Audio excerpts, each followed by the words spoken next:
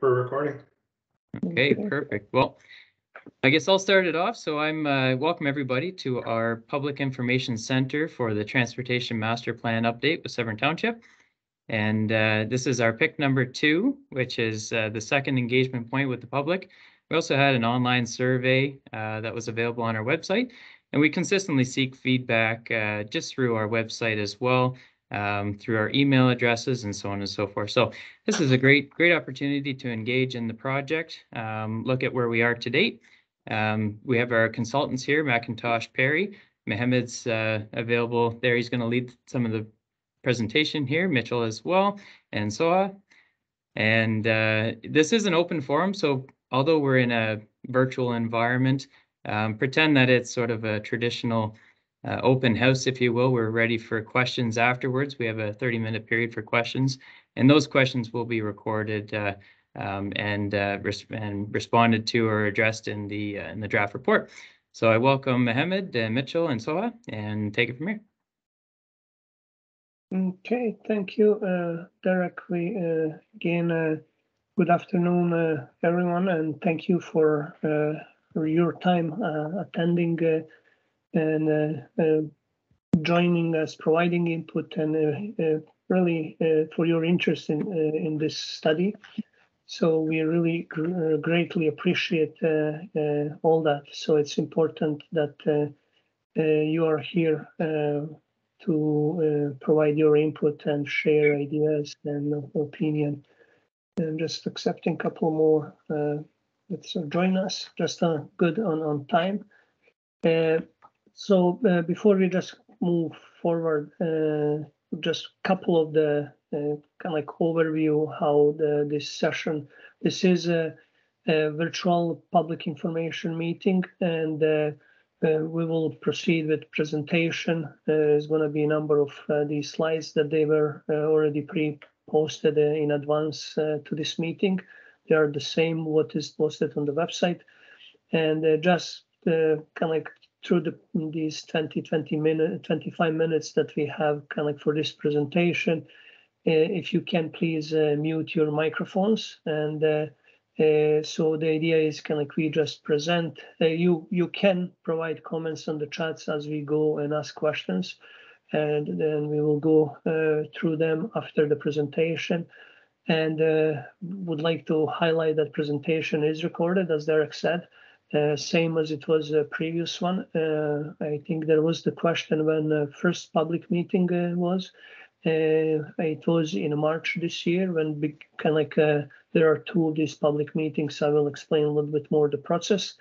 And, you know, after the meeting, after the first presentation, we will have questions and answer all of them. And again, it will be second se session when, when we, after this one, uh, we have one more.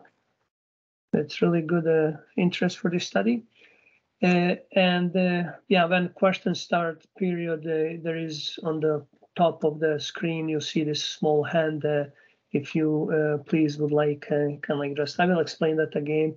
You can raise your hand, and we would like that you can at least you know introduce yourself and say if you would like you know where and what area uh, you of Severn you are living and your residence, or maybe here, here are some stakeholders or some uh, other interesting interested uh, parties. So everyone is welcome, but uh, please just uh, we don't need to know exactly address address, but at least uh, some small introduction.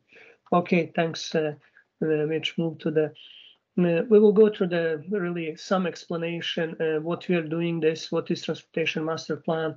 Some of these uh, at least a few of them will be kind of like what we already mentioned in previous public meeting and maybe just to provide some uh, explanation in addition to what you've seen based on the slide. Uh, transportation master plan is uh, as it says document is the master plan planning document that it's really looking for the uh, township long-term strategy. Uh, so really for to look for the planning uh, for the growth and how to manage that uh, expansion uh, of uh, overall, uh, we call it these days multimodal transportation system, which means we are looking for pretty much in general for the roads, for auto, for active transportation, which means including walking, biking, and everything.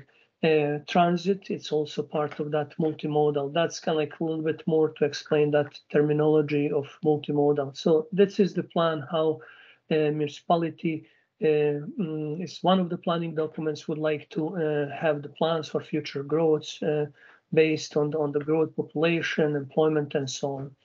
Uh, and it provides really strategic document for the for the municipality to plan some of the the future uh, road network uh, and other in line with other documents.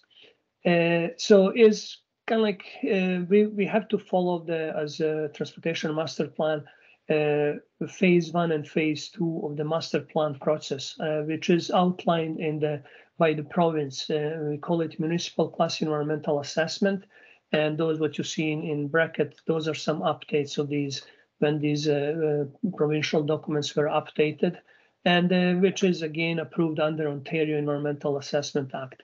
So this is the kind of like the process that we follow. That's why you see the, some of these steps. Uh, we will again show that it's public consultation. It's one uh, public consultation or stakeholder, second one, and so on. So all those are steps prescribed in this uh, provincial document for these type of studies. And in this case, for transportation master plans, uh, it's prescribed a minimum of two points of contact with public and stakeholders. So this input, it's, it's really the important. So this is our second public meeting. And again, as Derek said, uh, this input or communication between uh, interested parties, stakeholders, residents never stop during the study. It doesn't have to be just this public meeting. You can contact us at any time during the study before the meeting, after the meeting, call us, email, everything. Uh, any input uh, uh, that's it's welcome. We will consider and uh, listen. Uh, next step. So a little bit about this process again. It's really important for us to explain this, and you probably seen this if you uh, attended first meeting. So the those are steps. we have the the study transportation master plan for the Severn we can like have it two phases of the of, the, of our study following those phases of uh, kind of like a municipal class EA, what what I mentioned. In first phase and pre uh, first phase of the study, uh, we, when we started, we really look, uh, you know, uh, what municipality and what this uh, undertaking it's what is there, what are the issues, problems, or opportunity. That's kind of like how we call it in technical terms. Then we start gathering uh, all information, background, uh, previous transportation master plan was uh, done. So what is done, other planning documents, uh, issues and everything, uh, uh, existing conditions. So then we identify, you know, as what are those opportunities and challenges. it's not only one, so we look all, all those, what we said, multimodal. It's to look as, as, a, as a package as we go uh, that needs to be addressed as uh, municipality grows and uh, looking for the for the future plans. In phase two, uh, when we assess all those existing and look for the potential uh, uh, different type of issues or opportunities, then we look for what are those potential solutions, and we will present a little bit about these solutions. And uh, then we look you know what is how we evaluate these solutions. There are technical some criteria that we go through to evaluate them. Uh, you know those are technical social uh, cost and so on environmental. So those are again criteria that we evaluate based before we say this is you know uh, recommended for this improvement or these changes so we went through this uh, evaluation uh, as I said, important is in, in on top of everything, it's also cost involved. And uh, at the end of this is kind of like development uh, strategy, how it will be in, implemented over the time. in, in general, we are here, what we said, we are here, it's public information meeting number two. Uh, we pretty much kind of like uh, went through the all those steps in phase one and phase two of this study. And after this meeting, uh, again, uh, it's not done. We have to uh, obtain this input and look all those technical work, what was done, what was previous meetings, and comments and input, then we will start or started working on, on draft uh, document and uh, really look what, what is the best recommendation for the municipality uh, to carry forward for different type of, uh, of uh, improvements, implementation in phases uh, based on cost, based on everything. And uh, so that's the, the, transportation master plan, and that will be presented to the council. And that's pretty much kind of like overview of the whole, uh, the entire study. So again, uh, Severn had a transportation master plan previously, and this is kind of like, again, we always speak not only us, that's the process. And this will not be the last transportation master plan that the municipality will have. Uh, there will be again another one. Typically, these transportation master plans are done typically every five, uh, you know, six years and so on. So this is the planning document that again will be updated and uh, uh, refined and so on, which is kind of like uh, uh, parallel with other planning documents, official plans and so on. Uh, next. So engagement, uh, we mentioned that a couple of times. So we had it uh, previous meeting, we received couple, uh, some inputs uh, after meetings, before the meetings. Uh, there in, in these comments, engagements are from the public, but they're also from uh, other stakeholders. It can be interested parties. There are, uh, you know, Ministry of Transportation. There is a, a county. There are different. there are developers. There is consultants that work for different parties. So uh, everyone has uh, or can provide input and comment. Uh, and notice was advertised or published two times, and it's this is for the this one PIC2. If you go there, you will find all uh, links uh, for the first public meeting. And also, I know someone asked when was the first one. Uh, from this link, you can also get to the uh, presentation boards, same like this one, what was done and, uh, or presented at uh, first uh, meeting. And there is also a recording of the first uh, public meeting. Next slide.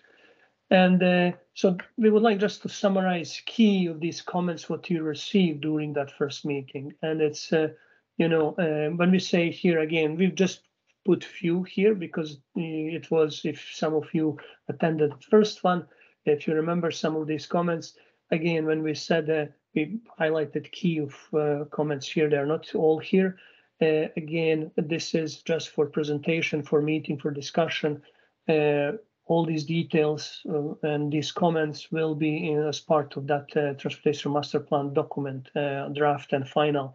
So this is just kind of like highlight. And when we say here addressed in TMP, it's not kind of like that we really went there and you know said it's it's going to be done this way or that way. It's just that we listen, we consider, we hear this, and we kind of like uh, take it. That's the input we look at when we look for the options, uh, alternative solutions. So we we hear this comment, and it was important comment or recommendation or whatever it is.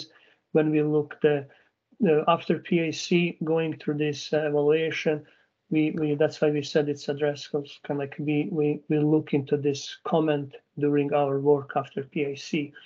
Uh, some comments are about you know sidewalks near uh, Menoke Beach Road uh, because of the recreation center. Again, we will not go through this every single answer, but it's just some of summary of the comments. And uh, some comments were about the need for trail uh, along uh, mm, near Menoke Beach Road uh, you know, that can uh, enhance safe transportation for the people walking. Primary settlement areas like Coldwater and West Shore will have any will have new developments in the future how we plan to address the road traffic will be adjusted. And so those are all really good comments, good input, good discussion. There was a lot of uh, good discussion uh, and first meetings. So, uh, you know, there is a, uh, we recognize uh, safety concern. There is a lot of you know, the trucks in the area, so there were some discussion about that one. And uh, and you know definitely we went there uh, on the site. Uh, our uh, project team actually one day entire day with Derek was with us uh, through the entire township. Uh, we we did a site visit uh, through the entire township with Derek. Yeah. So just some of the the comments. Uh, public engagement, the obje- objective, it was mentioned, is to update uh, you uh, public on the process, on the where we are. Uh, again, invite you, as I said, uh, any feedback, uh, uh, what you learned so far, what you've seen on these slides here, and again, what we will mm, have conversation. And anything else that you maybe didn't have opportunity to bring so far, and uh, anything else to recommend uh, what you've seen so far on the plans uh, again? And just your recommendation for the community for for the you know for the study in in general. And we will be here to answer questions about the study and everything what you see here. Again you will not see everything on these slides. There will be the report uh, that is kind of like uh, in general will cover the entire uh, study and all details. Uh, we would like just to mention this uh, uh, official plan update. Why we are mentioning it? I mentioned the transportation master plan is just another uh, planning document in addition to many others that uh, township is typically uh, undertaking, updating, and so on. Transportation master plan is the one piece that it's always uh, good to have, kind of like the uh, at the same time or the best time, if it's possible, same update when it's official plan update. So transportation uh, is component or transportation master plan is component of official plan update. So, and it's not only transportation master plan. So official plan is the wider document looking for the, uh, the whole other planning uh, for the entire township. So uh, transportation master plan is uh, really good timing for this update that can fill, fit with some recommendations to be included in the official plan update under transportation section. So uh, if you didn't know, uh, Township of Severn is uh, undergoing updates of its official official plan. And uh, it's there are some uh, open houses uh, coming these days with regard to the uh, official plan. So we really recommend you visit uh, and look on the website or ask uh, towns, township staff for more details. But here are details if you would like to be involved there. But again, it's really important. Both documents are extremely important. And uh, it's really good to see that they are uh, kind of like going at the same time to update. So it's opportunity. What you learn here, if you would like to attend and provide input with regard to the official plan update. Yeah. And uh, just let's accept more people are joining us. I'm very happy to see a lot of people today. And uh, again, this is really some of the I I'm I'm sure I mentioned already what are goals and objectives of the transportation master plan.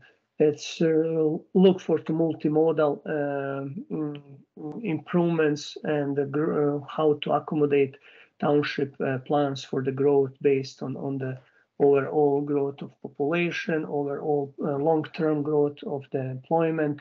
And uh, it's not only kind of like just to look for, uh, you, we can't look in any planning document uh, these days just for township. There are, uh, mm, uh, these planning documents are extremely important, how uh, they fit into uh, uh, county, regional, provincial plans and documents. So uh, these goals objectives to the some level have to be in line or kind like follow how province grows, how the region grows, or how they planning their improvements. So these documents, transportation master plans are important to have them as plan of uh, other uh, kind of like regional or uh, county or uh, other cities in the or the neighboring municipalities uh, plans. Mm. Next slide.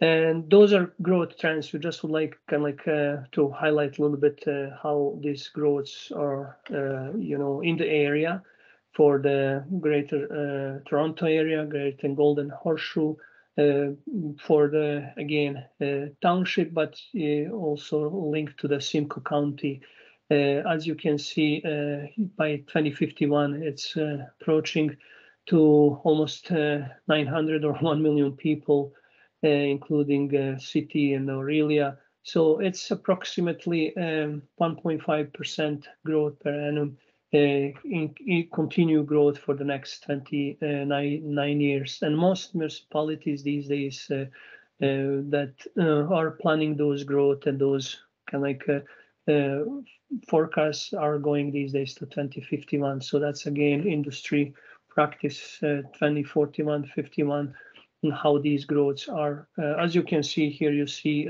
all those Uh, local are around seven uh, growths uh, by each of these county or municipality.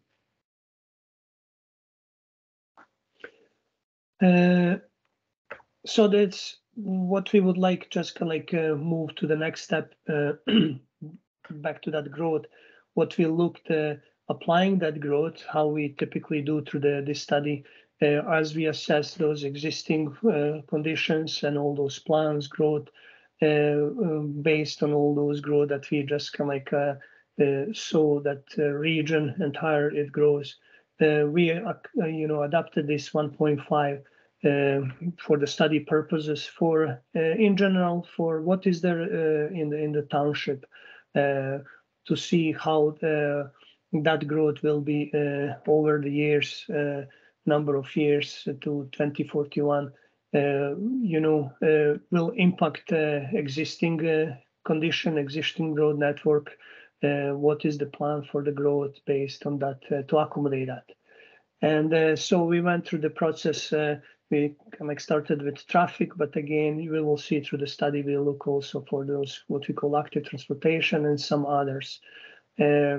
Based what we are talking here, it's uh, annual daily traffic. It's what municipality uh, has, township has, and uh, those volumes as is existing, we apply that growth over the years to see are there issues with capacity, are there issues or need for improvement? Some of these we will present later.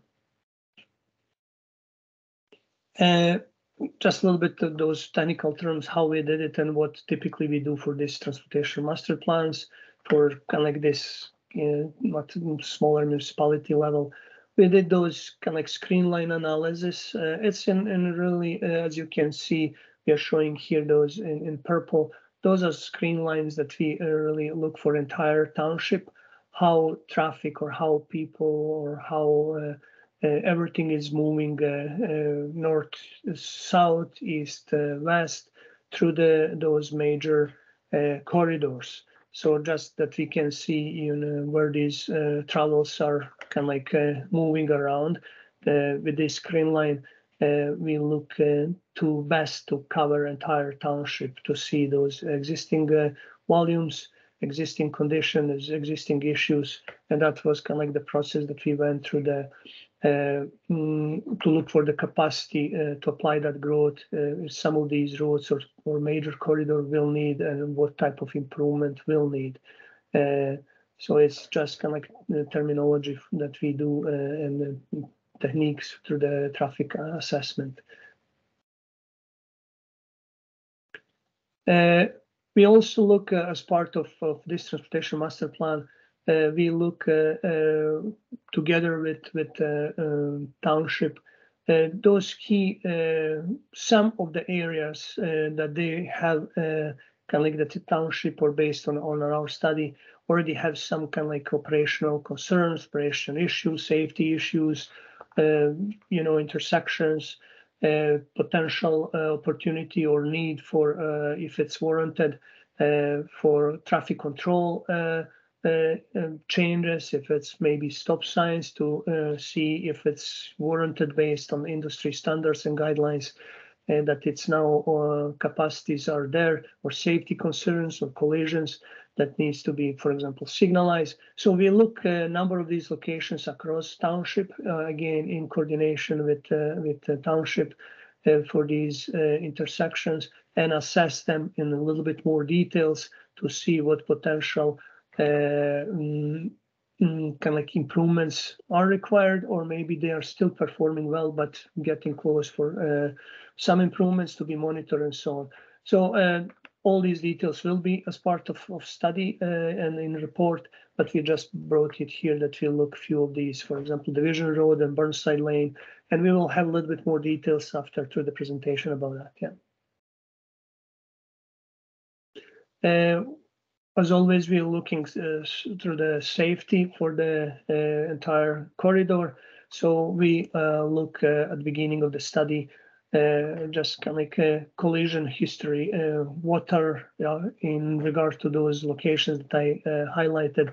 If there are some corridors or intersections or area that they have significant number of collisions, then we look into a little bit more details, what type of collisions, or to try to learn Uh, through the collision reports uh, what is causing those uh, reports, so that municipality or we can recommend at this stage mm, or maybe further studies to see what can be improved to make it more safe and to reduce or eliminate these collisions. So we look collision analysis again, as you can see.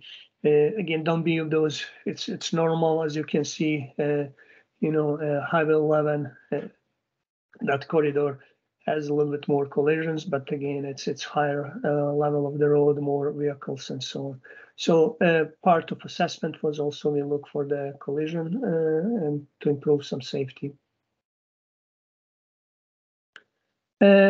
Growth, um, what is the kind of like growth? Is it really growth of, we all know that's kind of like a township is or rural community and growth of uh, urbanization, but also we also see that the township is growing. There are new developments, so more people is moving to township, but it's kind of like natural how to anticipate and how to accommodate that growth.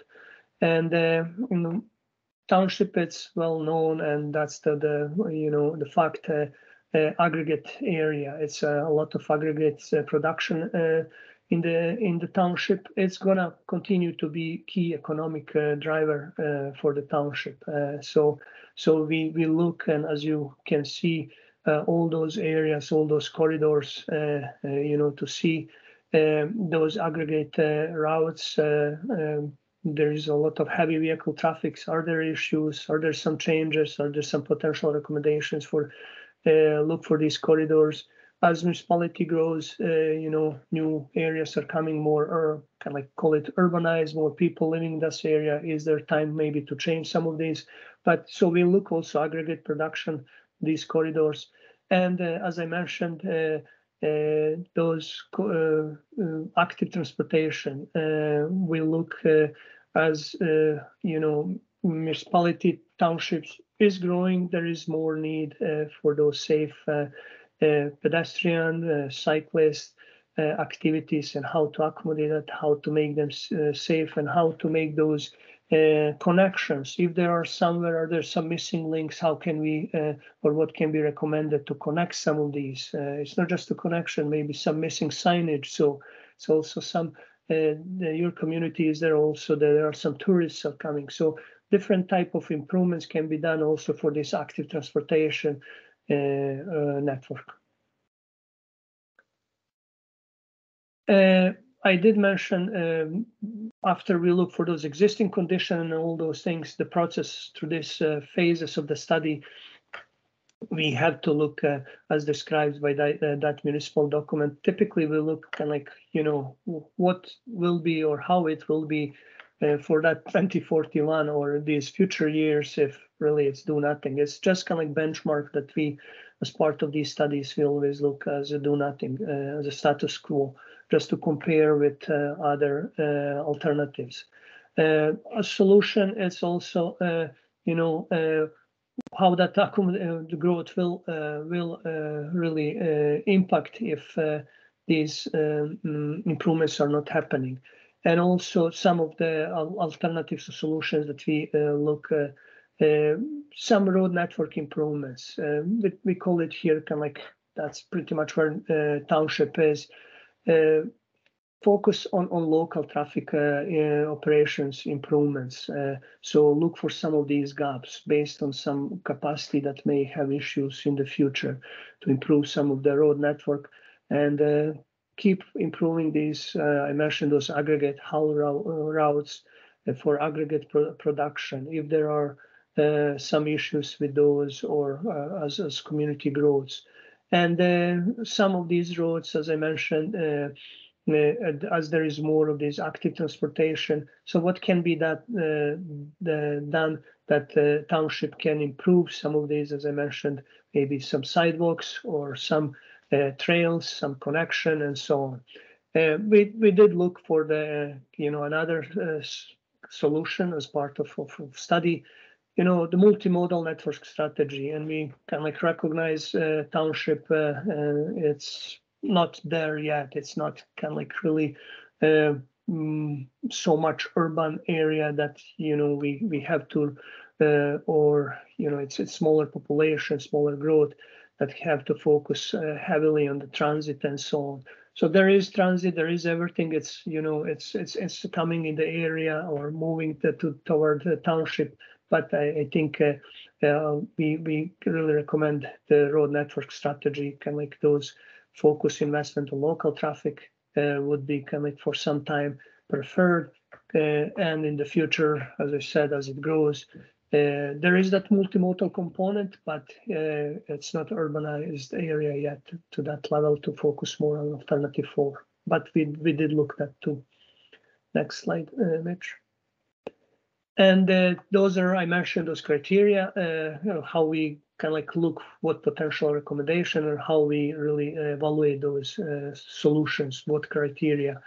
It is always we look transportation, you know, how to move people, Uh, connections, uh, improve connections for uh, local residents from surrounding municipalities, between other municipalities, county, enhance active transportation facilities, you know, provide diversity of travel choice, as much as possible. There are completely new area now, you know, there is all those, Uh, maybe township is not yet there, but there are, you know, there's uh, more electrical cars, more car sharing, more so on. So we look for everything when we say transportation policy.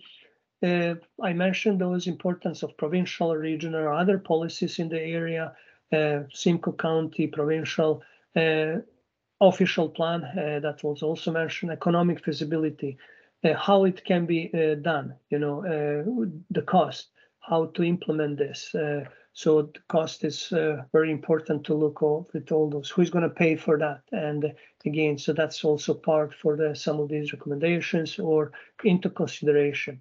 Environmental, it's always look, that's why it's called to follow uh, environmental assessment process. So any of these improvements, recommendations, or anything through the evaluation, we look what is the impact on the environment and how it can be minimized with any potential improvement and the impact on the natural environment.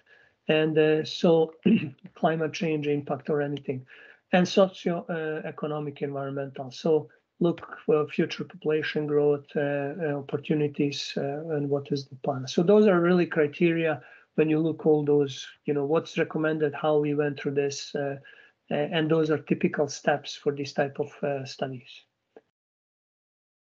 Next slide, I think, uh, Mitch, uh, I will pass now to Mitch to take us through the Mitch from uh, our project team.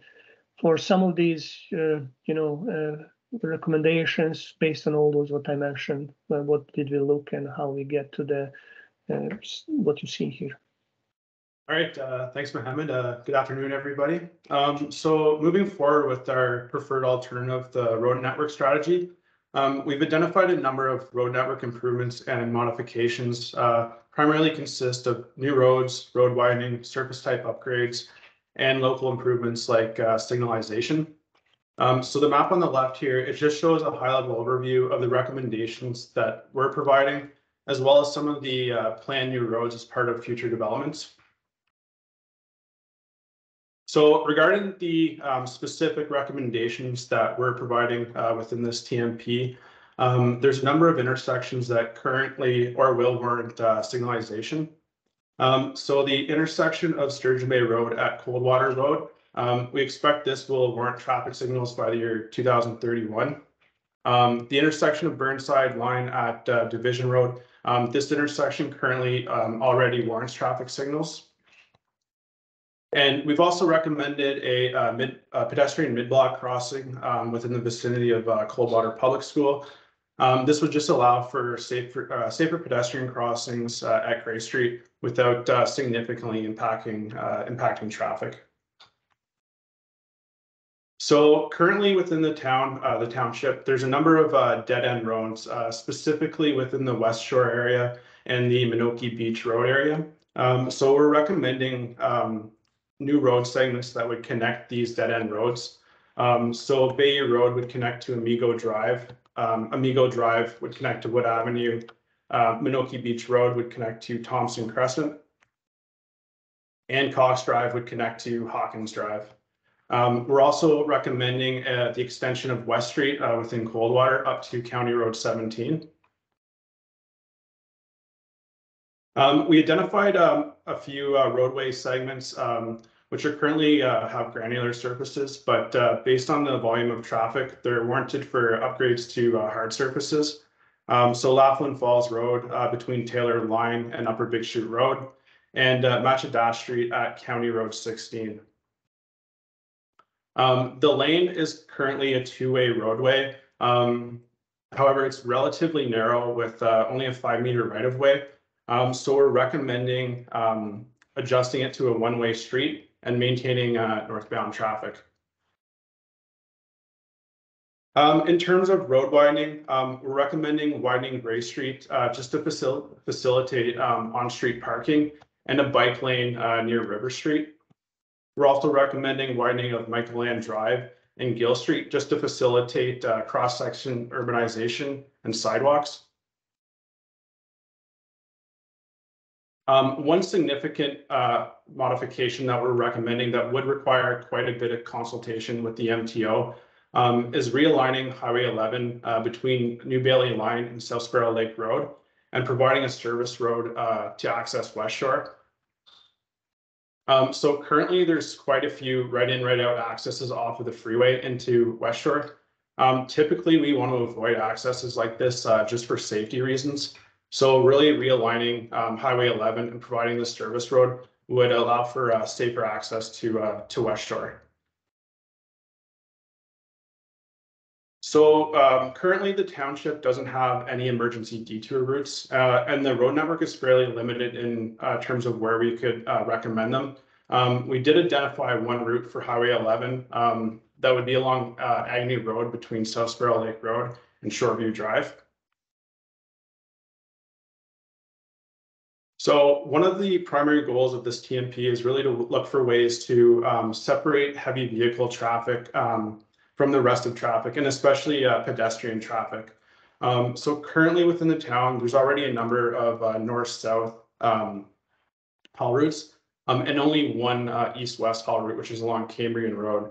Um, so we looked at a number of options uh, for providing an additional east-west route um, into Highway 12. So we looked at Warminster Road, um, we looked at Division Road, Division Road to Fairgrounds Road, um, but there's quite a few drawbacks uh, with these options. So the preferred option that we identified was a new uh, east-west haul route on Thornburn Road um, between Nelson and Highway 12. Um, so this would uh, require um, building a new uh, new road between Wainman Line and Highway 12. And uh, it would also require a building within the, the township of Oro-Medonte. Um, so moving on to active transportation. Um, active transportation uh, simply just refers to um, any active mode of travel, so primarily walking and cycling.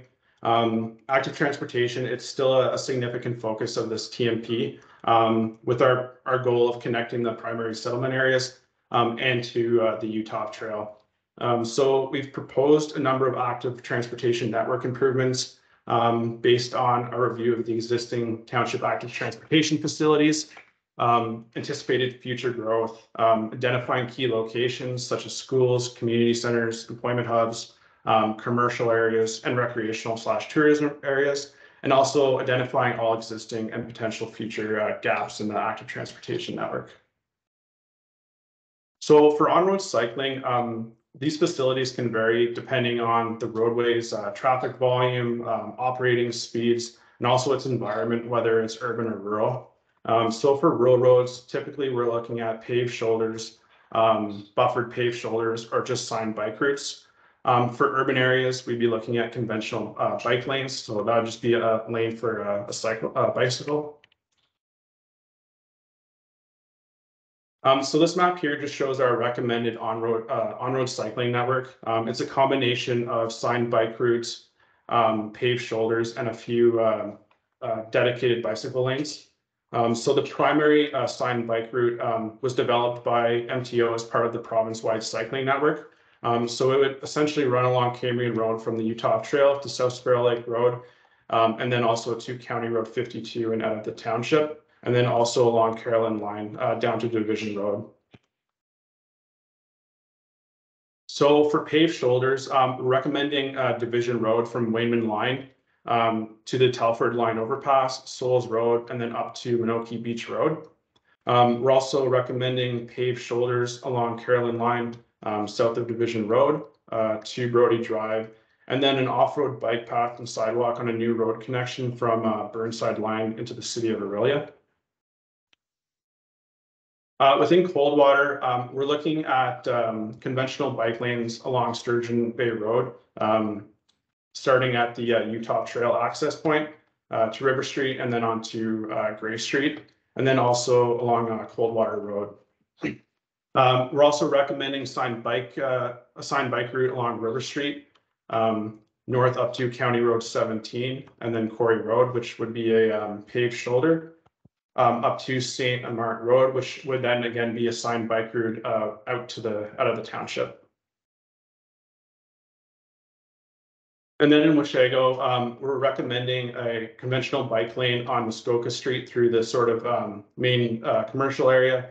And then for the remainder of Muskoka Street, it would be a paved shoulder up to County Road 52. So for the off-road uh, component of the active transportation network, um, this would primarily include sidewalks and multi-use pathways. So um, we identified a number of uh, locations that would benefit from the added safety provided by sidewalks. Um, and we based it off of a, a priority system. So high priority areas uh, were um, areas with higher than average number of vulnerable road users. So within the vicinity of schools, trails, community centers, and commercial areas. Um, medium priority areas, uh, these are areas with pedestrian activity um, in the vicinity of higher traffic volume roads. And then low priority areas were areas with pedestrian activity, um, but lower traffic volume roads. So looking at uh, Coldwater, there's currently already a number of existing sidewalks. Um, we are recommending a number of new ones um, on the north side of Sturgeon Bay Road from the Uhthoff Trail to River Street, um, along Brick, uh, Brick Pond Road, Wiley Street, um, George Street, Mike Land Drive, Shaw Street, and then on Gill Street. Um, the sidewalks shown here and this multi-use pathway, these are part of a, a planned future development. Um, but we're also um, we're also recommending uh, extending the Uhthoff Trail um, along Fire Hall Lane up to Gray Street as a multi-use path. So the Uhthoff Trail uh, through Coldwater is um, discontinuous. There's an access point on Sturgeon Bay Road and then another one um, on just south of Gray Street off of Fire Hall Lane. Um, so there's no easy way to get from uh, this access to this access if you're on a bike or you're walking. So what we're recommending um, is realigning the trail um, to continue uh, based off of this old alignment of the trail. Um, however, this would require uh, purchasing um, a property of land here um, at the intersection of River Street and Gray Street. Uh, so West Shore, we're also recommending a number of um, sidewalks, uh, primarily on Lakeside Drive and Bayou Road, um, with some sidewalks on Highview Avenue and Coronation Avenue, just within the vicinity of the school here.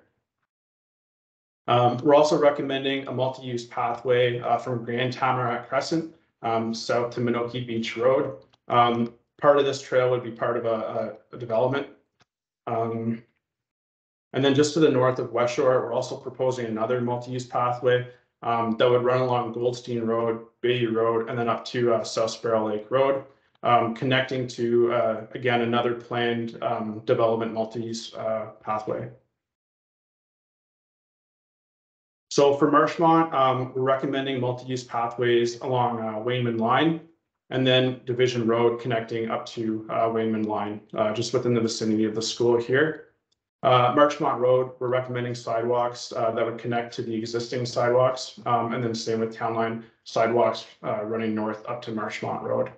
Um, just to the south, uh, we're recommending sidewalks along Confederation Drive, um, north up to Division Road. So for Washago, um, recommending sidewalks on Hamilton Street, um, and then just uh, continuing the, the existing uh, sidewalk network on Muskoka Street south down to County Road 169 uh, to Quetton Street and south to the existing uh, park this year. So I will turn it back over to Mohammed. Thanks, Mitch. Uh, uh, I, I see a lot of questions and we'll just kind of like, we are almost close to the kind of finished presentation, but I just would like to of like a little bit to go back uh, what Mitch uh, um, was presenting. You probably hear a lot uh, recommending and benefits. It's just like to put kind of like in, in perspective so that understanding uh, everything what what kind of like we say it's recommending or it's uh, it's um, this is all study uh, in the progress or or uh, it's planning study. So uh, as part of study, uh, we uh, some of these improvements or recommendations are uh, uh, are the at the planning stage that uh, you know everything has to be considered further as as as study goes or for individual studies.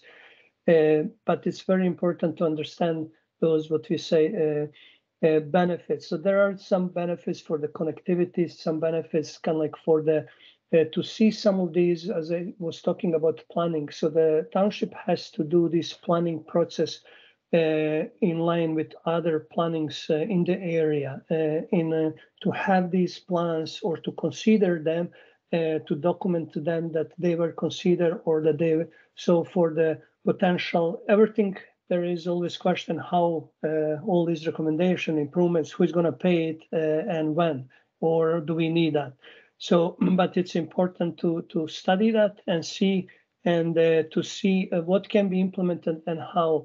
Uh, you know, there are some of these studies that uh, uh, needs to be further studies to consider. Maybe we'll never proceed. Uh, there, some of these implementation may be attached or considered to some development development charges. Some again, it's important to identify them as needed or consider uh, municipality or I mean township can go for some funding from the province, from the region. So if they are not uh, identified, uh, some of these you may agree uh, very well uh, that they are really needed to improve these sidewalks or wherever. But if they are not identified here or, or in the study, it's hard to go and process to the next step, how to build it, how to look for the funds, how to plan for them. So this is the study, as is the uh, kind of like planning study. So it's not that uh, township will just go uh, or anyone build everything in five years or it's really gonna be done. So it's really important to understand that. There's a lot of recommendations. Uh, they may be uh, that you agree with them or disagree, but it's everything is the planning and for consideration. So it's it's good to to see that kind of like we we have different comments and understanding of that back to the role classification here, mm, uh, and uh, we recognize that you know township is more rural uh, area. Uh, so part of this transportation uh, master plan study is really to look, we mentioned those policies. So what is the industry standard guidelines? We show here on the right side, small, it's Transportation Association of Canada. Uh, so it's good time now that municipality uh, or whenever we are doing transportation masters plans to see uh, what uh, how to classify these roads that they are in line with industry so that they are in line let's say with with the neighboring municipality or county uh, terminology and how these roads are kind of like you know, we typically call the, that's the industry again, those are arterial roads, collector roads, local roads. Uh, and there are some different categories, but it's very important as part of this study um, that uh, uh, township adapt one terminology. It's not only for this study, but it's important that that terminology is uh, used in official plan, it's road needs study, so that uh, other documents, other studies and future documents have that uh, described, adapted. So this road is arterial, this is collector, this is local. So it's very straightforward for for any other study, for any other uh, document. So that's kind of like we look also what uh, what is there existing. Uh, most of these, as I said, are, rural, local roads so far identified. They may stay that way, but it's also important to see, you know, some roads based on the growth or capacity. We make of like the adapt to call it collectors. It's very straightforward. What is collector? Typically, uh, township has those local or collectors. High level roads are probably arterials by county and so on. So we'll look to that and it will be described uh, in, in the transportation master plan. It's from the policy side. side. Go ahead, Mitch. And uh, yeah, some recommendations again, uh, as I said, because of uh, how we classified those uh, roads called uh, collector arterial is based on the volumes, based on the right of way, based on if this road has sidewalk or doesn't have sidewalk. So those are all standard uh, industry standards that we went through and recommended a couple of these. Again, we recommended uh, uh, changes for the township to uh, adapt and to make those changes for a couple of these roads to call it arterial or, or collector uh, so that it may that can like fit more into industry uh, requirements. Oh, go back to the cost.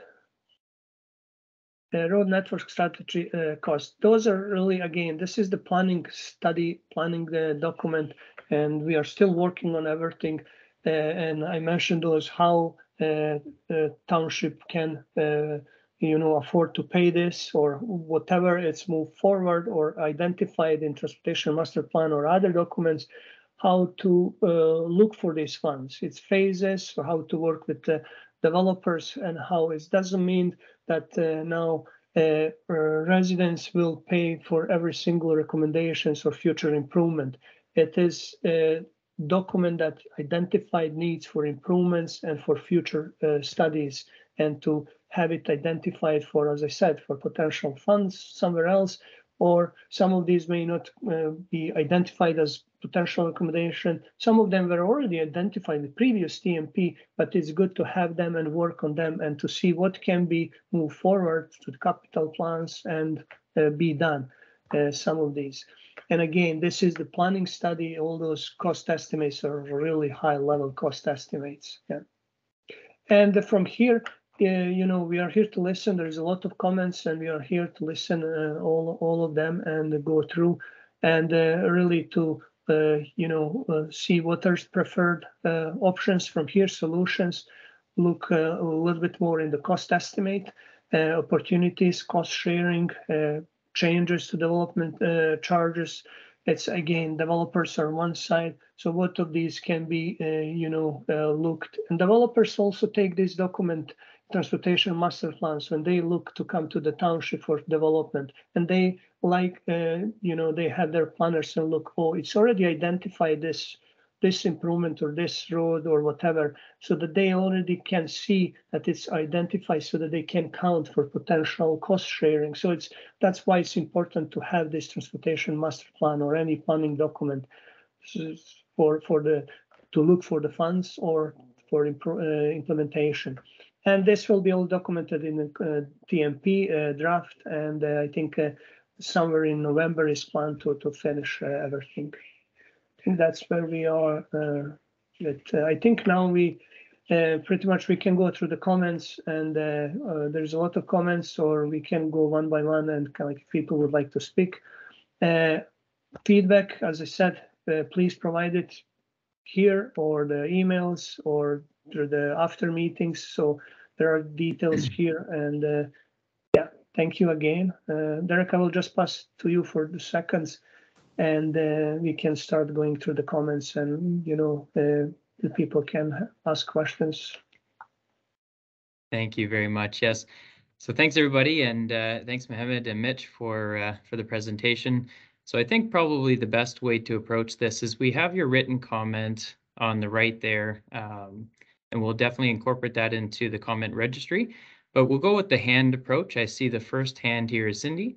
Um, so we'll kind of do a, an approach where the hand comes up. We'll, I'll try to remember who came up next, and we'll call your name. We can have a discussion. Um, there is only limited amount of time, about 30 minutes or so.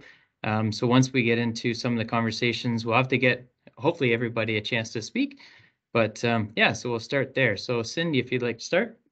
Sure. Can you hear me? I can. Okay, great. Thanks. Thanks for uh, your presentation and for allowing us to provide our feedback. I was a little concerned at the beginning uh, because we had no notification of this, uh, the residents of Amigo Drive, um, in terms of the first presentation that you had. And um, so we would have been probably a part of this process much earlier on. Um, as you know from my emails and uh, some of our comments, um, we went through the similar study in 2009 and provided a lot of feedback at that time. And in speaking with many of the residents at this point in time, we still have major issues with the connections that are proposed between Amigo and Bayou, as well as Amigo and Thompson. Um, I know that you said that you addressed this in the uh, the TMP, that um, someone went out to the actual site. And if they were on Amigo Drive in particular, they would see that it's made of asphalt or it, it's not paved. It's a very narrow, and as I mentioned in my comments, winding road with very few sight lines on it. Um, and it's very, very, very local traffic just for the residents, and many of them are seasonal residents. And uh, even at this time, when we walk out to Menoke Beach Road along um, Amigo Drive, as well as on Menoke Beach Road, it's extremely dangerous. And that's only with the additional housing that has been um, completed on Menoke Beach at this time. We are constantly jumping off to the side. People are racing, literally. It's a very long street, Menoke Beach, especially uh, road. And it's a dangerous situation where we are constantly feeling like we're going to be hit by cars. There are no sidewalks, there are no walkways absolutely nothing available for us. And given that this is just a small amount of traffic from the uh, building so far, connecting these routes serves no purpose whatsoever because even with a small community center that's going up near that um, community, um, the there are other ways to get people to a community center rather than going along a small winding road that's narrow and doesn't have the proper infrastructure. Um, we're not opposed to providing places for people to bike through and possibly pedestrians to walk over between Bayou and, and uh, Amigo Drive and, and maybe emergency vehicles, but allowing for other traffic to come through there would even increase the danger that we face regularly on that road, um, as well as considering the cost that it would take to possibly widen, add sidewalks, whatever it may be, uh, that should be a consideration. Um, so we're very, very concerned with those recommendations. Um, and there is a piece of property between Thompson and Amigo Drive um, that would have to be a consideration as well. And I think my sister will, will speak to that. So our main concern is the safety uh, for the residents and for future residents in the area. And we think that there are other ways to get to Menoke Beach Road rather than crossing through a small uh, winding road that is for very few locals in the area.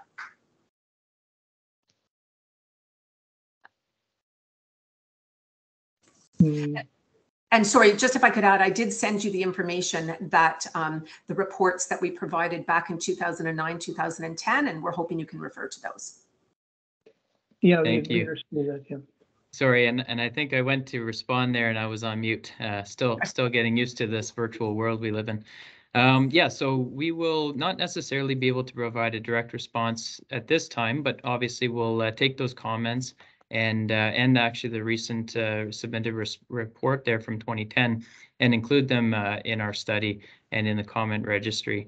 Um, I think there's a lot of uh, good value in in these comments, so um, yep, we do appreciate that. Thank you very much. And, and sorry, Derek, one more thing. If I could also say, a lot of the land around there is EPA land.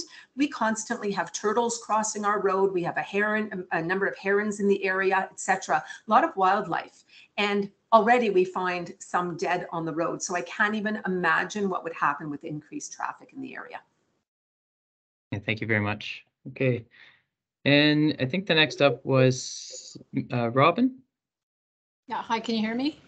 Yeah. I can, thank you. Okay, thank you. So Robin Seligman and I have a property on Amigo Beach Road and I own the land actually in between um, uh, Amigo and Wood. Cindy referred to Thompson, but it's actually Wood Avenue.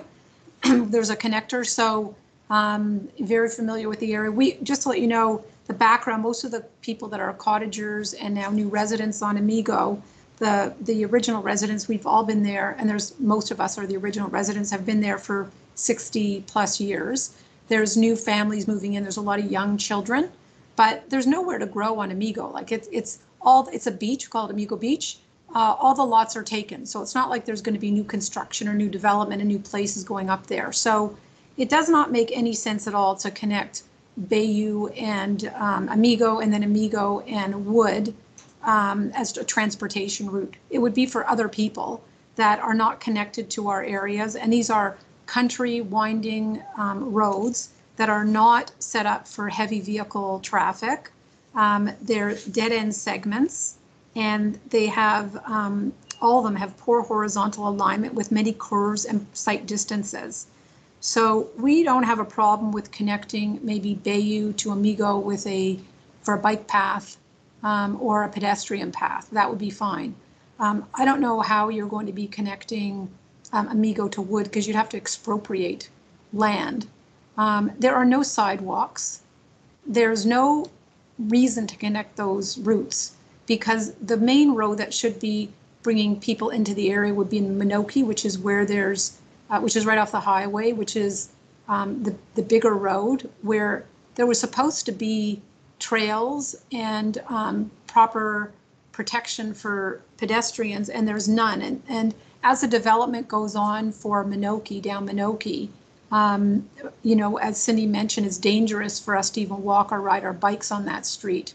And even the minimal requests that we've made for speed bumps on Menoke hasn't come through with um, the township. So, you know, speed bumps, sidewalks down Menoke or proper trails all the way down, not just where the development is. It would have to be from Highway 11 all the way down to the end of Thompson Crescent to make it safe. And none of that has happened. And so now you're coming out with the same provisions again, same suggestions again of connecting, but I don't think have any concept of reality of what that area is like. I'd like you to drive down there to actually take a look um, because these are not roads that are set up for heavy traffic or, or vehicle traffic. Um, they are people's back in people's backyards. And, um, you know, we've, we've gone through this for, before. I feel like at the same time, you know, back to the future. And, you know, it's a very unfortunate that, you know, I don't think any of the previous studies were looked at. We actually retained uh, Crozier um, and Associates to do a study last time. Nothing has changed significantly from the connections we're talking about. Uh, Fogler Rubinoff and Michael Slan has put in his comments as well, provided a very detailed letter as well. Um, and, um, you know, we had a petition. Well, if you need another petition, we'll get it. But nobody on our streets want to be connected with the other streets. And it's not a matter of we want to keep things the way they are. It just doesn't make sense. You know, if you're going to spend the money, spend it on fixing up Menoke and making proper um, trail paths for pedestrians so it's safe. You know, not putting, you know, school buses and vehicles down small winding country roads where there's only cottagers and some residents living on the street with little kids. It's just, it's dangerous. I think it's irresponsible. I don't think it's a proper way to spend money. Um, there's many other ways that you could use um, uh, resources that would be beneficial to the community and everybody in the community. And um, I think as an, you know, um, planners, you should be looking into not only looking to the future, but also being sensitive to the existing community. And I, I just think the study misses the mark. And um, I, I ask that you go to our studies. We provided them again. Um, I don't think that any type of um, major resources should be put in connecting these little country winding roads. um, put the money into things that will benefit the new development on Menoke. Um, and um, that's where I think the the uh, focus should be. Um, and I'm not commenting on the other areas because I don't know the other areas in Severn. I'm just talking about our specific area. But just again to reiterate that it's dangerous, it would be extremely dangerous to connect all these roads and have traffic going through. I just think it would be irresponsible and dangerous and expensive. So those are my comments. I'd ask that you take into consideration the previous documents, the previous comments that we've made, and I've put them on the teams as well, and so has Michael Slan. The same arguments that we make also hold true for connecting Tom, Big Chief to Thompson, or Thompson to Big Chief. Thank you. Okay, thank you, Robin. And I believe we had Scott. Scott said- got his hand up three times. How you doing today, Scott?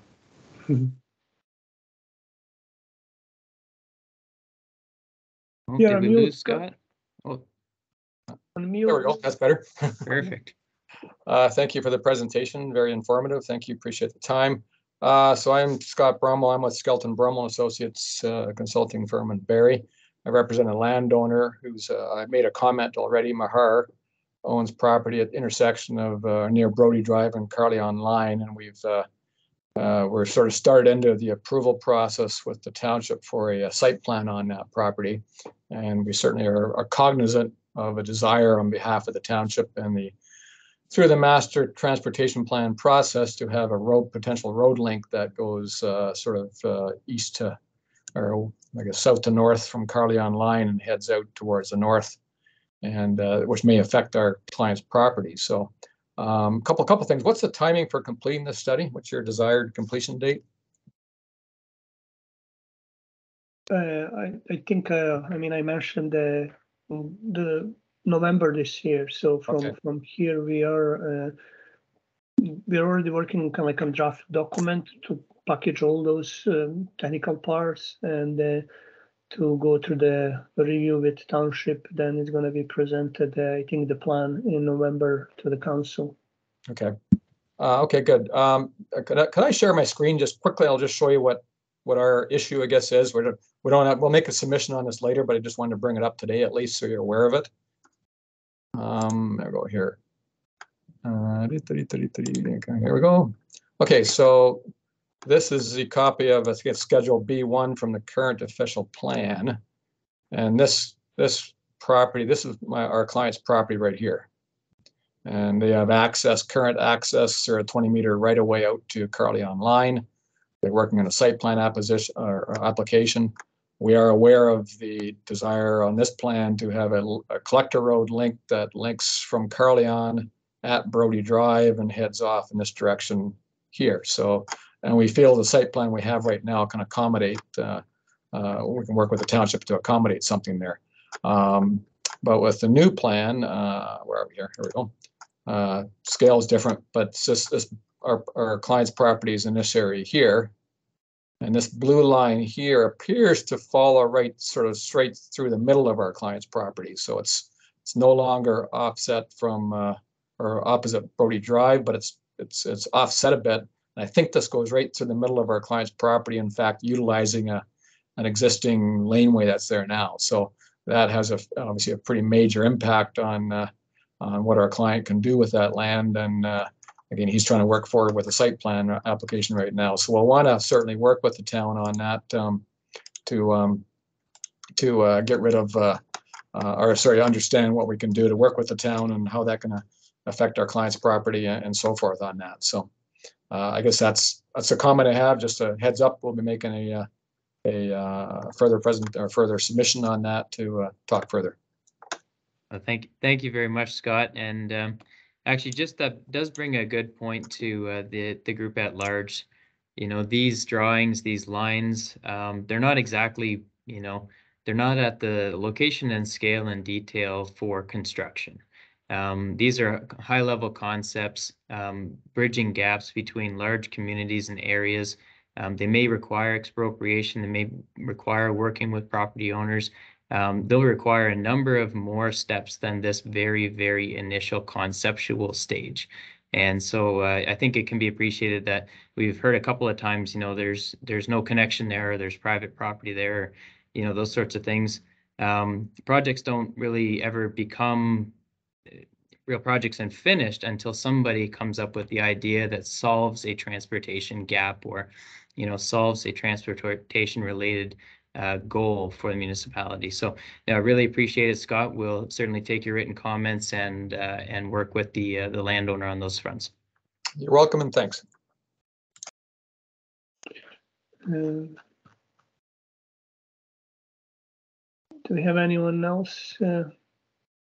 I think the list is pretty much empty unless uh, Cindy, you have your hand up still, but I think that hasn't been dropped from the last time.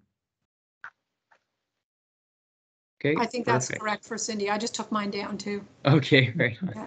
Okay, I'm well, kinda- that's, How do, how do we make sure, like Cindy mentioned, how do we make sure we don't miss the next meeting? Because we didn't get an email or notice or anything like that. And um, we're a bit taken aback that we missed the first consultation because we would have uh, been very open to, um, you know, giving you our feedback because we've, we've done, what, done it before. And uh, we'd be happy to participate. So how do we make sure we don't miss uh, you know, I guess the final recommendations. Um, and then, you know, I, I'm not sure if there's any politicians on the line. I want to know, you know, how, if the politicians are allowed to speak to this or are they allowed to be involved at this? Because um, this is political. I think it's a political issue. so I absolutely, I see that um, actually Tracy there, our communication specialist here at Severn, um, has provided a, a link and a couple of different ways to subscribe. Uh, once you're on a mailing list in this particular project, you'll automatically get updates.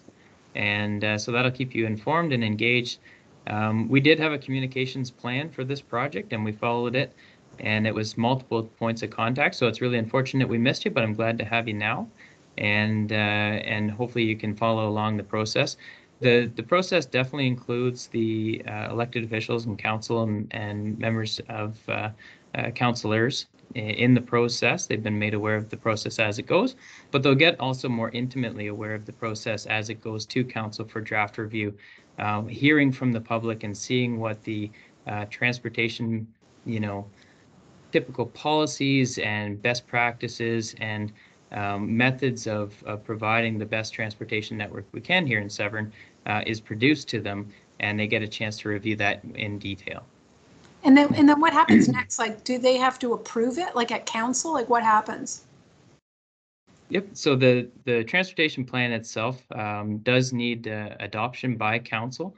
And, uh, and that's to adopt them in principle. But once again, each project doesn't mean that it's going to construction. Every project actually is individually approved um, at various other stages, including the project commencement stage. Um, But yes, the, the document itself, the transportation master plan is adopted by council. When does that happen? Our anticipations are to send our first draft and then there'll be possibly many iterations unless it's perfect, and then it could be adopted in November. And there's an election between now and November, so you'll have a different council? That's correct. Okay. Thank you. So we have a one more Derek Strickland. Yes, can you hear me? Yeah, go ahead, please. Okay, thanks. Well, first, thanks for your presentation. Um, I have sort of, I'm, I'm first of all a resident of Bass Lake Woodlands, which is within Severn Township. Um, and I'm looking at your plans for um, adding sidewalk and multi-use um, trails to the area, and I, I say that's a great idea.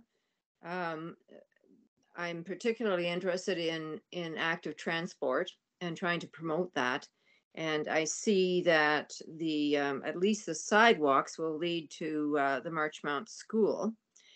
Um, I guess it's okay. Those streets are pretty quiet anyway. They almost don't need sidewalks, but but to allow young children to walk safely, I suppose is a good idea to have sidewalk.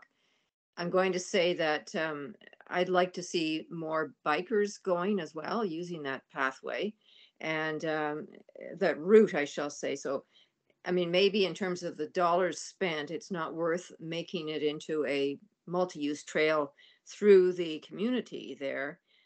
But I'm just saying that, that that that's really something that needs to be considered. We need to move forward strongly in active transport. And the best way to re- encourage that is to get the children actually up and running in terms of uh, using their, their feet or their, their um, bikes or whatever to get themselves to school. And along that same line, I noticed that uh, the proposal was for Division, no, sorry, Wainman Line uh, to have a multi-use trail and, and Division Road, which will go right past the school. That's great. But then for some reason, you're not taking it the other direction along Division Road uh, over to, I'm, I'm thinking of linking it to the Uhthoff Trail, which again, from an active transport recreational point of view, would be a brilliant stroke. Uh, and my final comment is, has anybody given any thought to paving the Uhthoff Trail to uh, link it up ultimately to to the highly successful Tay Shores Trail? Thank you so much for those comments. Um, we, we hear, actually, a couple of things might, might be able to address right now. Um, Division Road following, or I guess sort of easterly to, um, let's say Burnside Line and the Uhthoff Trail, does have a proposed shoulder, um, bike lane. So what it would be is a paved shoulder rural roadway. I think what the transportation, um, best practices were that we were kind of in a, in a community, right? So the Bass Lake Woodlands is actually Marchmont um, settlement area. And within the confines of the settlement area, it made sense to have, uh, you know, limited options of, of multi-use. And then as soon as you leave the settlement area, those longer stretches, you're unlikely to see very much pedestrian activity, but certainly cycling facility. So there is a connection. It just might not have been shown on that map very well um, all the way to the Uhthoff Trail. And then we did hear a number of comments in our first round of public comment on the paving of the cycling trail that is Uhthoff Trail. Um, we have uh, looked at that and we'll be continuing to look at that in the draft. There are some concerns. Uh, it is a multi-year round used uh, trail, which has a number of different users on it, including a snowmobile club. Um, so it's difficult to to select the best uh, surface type, but we certainly heard that loud and clear in the first round. I will say that I spoke with, um, if I may say, on that point of the snowmobile possibly use possibly being a problem uh, for the uh, pavement. I heard from, uh, I think it was a Tay Shores. Um, I'm sorry, I don't know his name, but he works for the township and he he is sort of the manager of uh, trails. Uh, uh, anyway, he said that he found that that they really see have not seen damage from the carbide tips. Uh, maybe I got the name wrong, but from snowmobiles. And his recommendation would be that snowmobiles continue to use um, a paved trail, but but when they come up to intersections, uh, where they will have to necessarily rev their their whatever propels the snow snowmobile, that they deliberately move off the paved section and, and cross the intersection that way. Um, and he, he said he had actually, that the township of, uh, the, town, maybe it's a city of Midland, um, has experience in that regard as well. So, I mean, I, I, at first I was very discouraged when I, when I thought, well, we can't really co-use with the snowmobiles, but apparently we can. Certainly, we'll we'll take those comments and we really appreciate them today. Thank you for uh, for coming to the PIC. Yeah, thank you. Thank you so much. Really good. And, we have Robin again, I think. Uh, Oh, Robin. Yeah, my, my final comment was, can the, can council accept part of the plan and reject part of the plan, or do they have to accept the whole thing? Okay. Uh, I'll probably put that to the consultant, but I believe there would be some revisions to the plan required. The plan acts as kind of one unit and uh, would have cost estimates and plans and priorities, all based on the the, the grand scope, if you will. Uh, so I think it would probably come back for revision. Yeah, yeah, I agree with that. And again, this is a uh, just a study uh, with uh, at this stage uh, potential needs for potential improvements. It can be done over phases, or at least, as you can see, not done uh, as Eric said. Each of these, uh, in order to be implemented, uh, again, there was a couple uh, mentioned uh, safety and all those things, uh, sight lines and so on.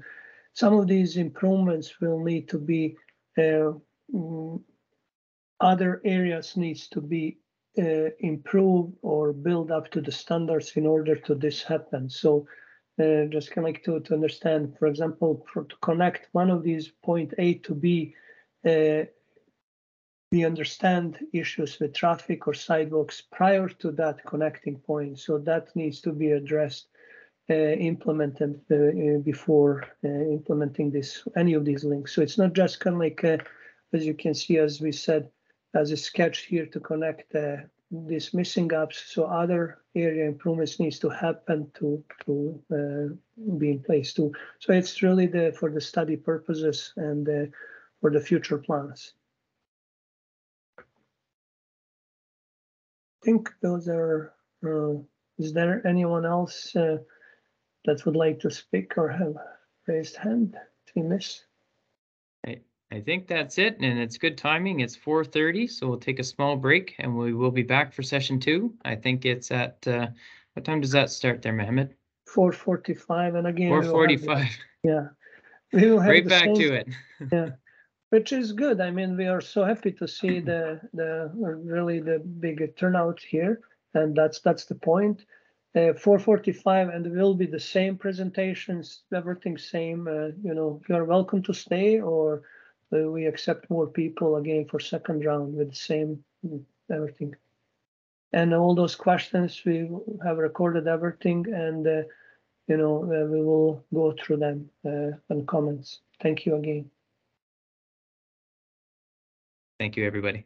So we'll, we'll stay here, with, uh, just kind of like, uh, take break fifteen minutes.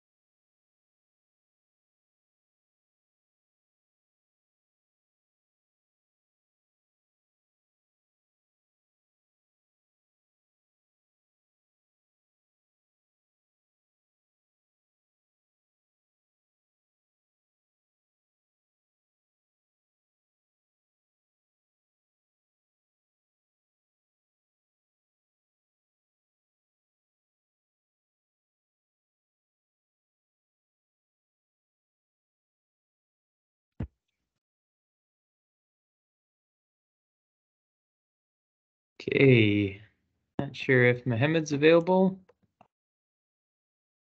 Mitch,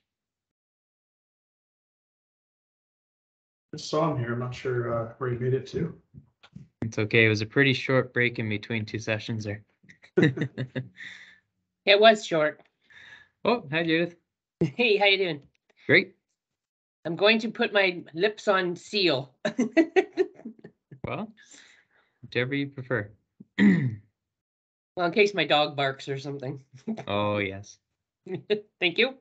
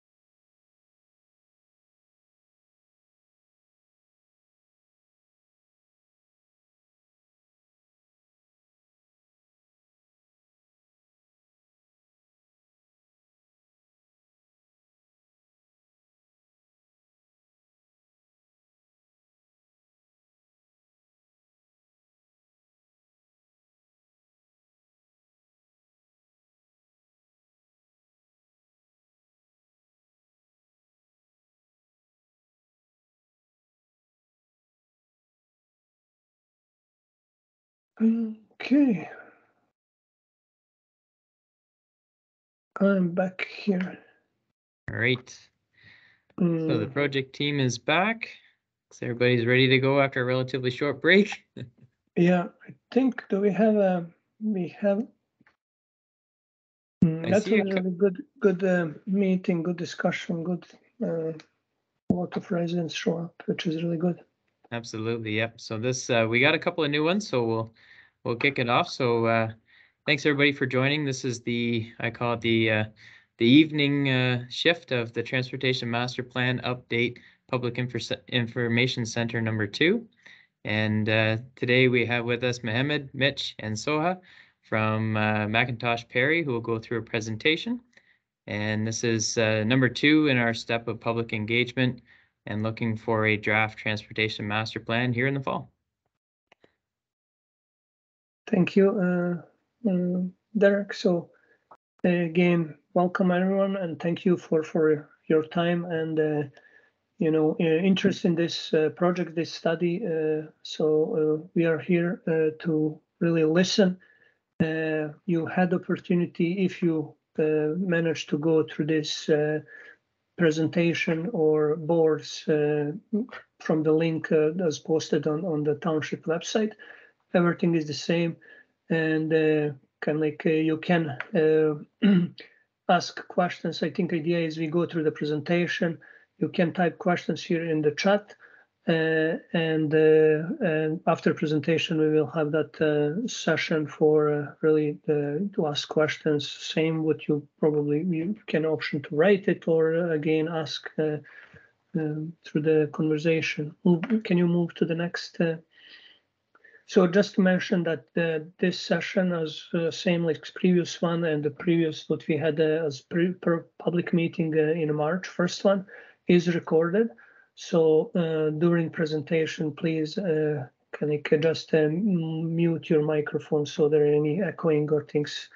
And I did say this question will be after the presentation. You can provide a question anytime during study after presentation through the chat. So we are really welcoming any comments, questions related to this study project. And next uh, Uh, just to go through the uh, little bit intro and background of, about uh, transportation master plan. Uh, some of these was mentioned at the previous uh, meeting, at first meeting. Uh, so what is the one transportation master plan? It's really the, just would like to mention that this is, call it update because township had previously done transportation master plan. So typically, uh, this is long-term strategy or planning document that uh, help uh, township with their plans, with planning through the other documents, not only transportation master plan, documents like official plan and some other master plans. Uh, and uh, to uh, really to look for the growth, expansion, and the future with this multimodal transportation system. Multimodal meanings everything, cars, uh, active transportation, and different modes of transportation, uh, transit, uh, in the long future or how, you know, if any transit from a, a neighboring municipalities or from county. So everything it's, it's, it's kind of like a part of this transportation master plan in general as document. And uh, this is the, I said, planning document the, or strategic document uh, policy that uh, uh, align with uh, growth and other documents, policies and vision for the future. So to look for the how to accommodate mm, growth and employment, population, and everything. Uh, we have to follow as part of the, you know, to go through the study transportation master plan, uh, follow the steps uh, um, described or prescribed or directed by uh, um, municipal policies. Uh, it's called municipal class environmental assessment. Uh, part of this transportation master plan or in general transportation master plan is to go through the first two phases of municipal class environmental assessment. So uh, transportation master plan phase one and two uh, is kind of covered in, in this study. So in case uh, mm, that uh, Severn identifies some projects, uh, some projects depends again of the, of the, uh, of the uh, size of the project, cost and so on. They may go through the phase three and four and five of the municipal class EAs, which is kind of like individual separate project.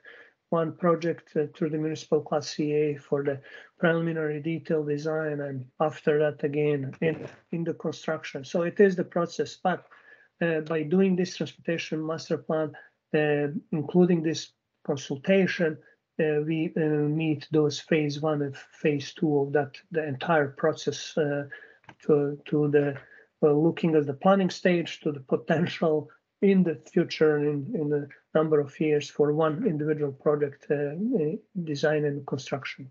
So it is a first step in the whole that process that takes uh, sometimes over 10 years.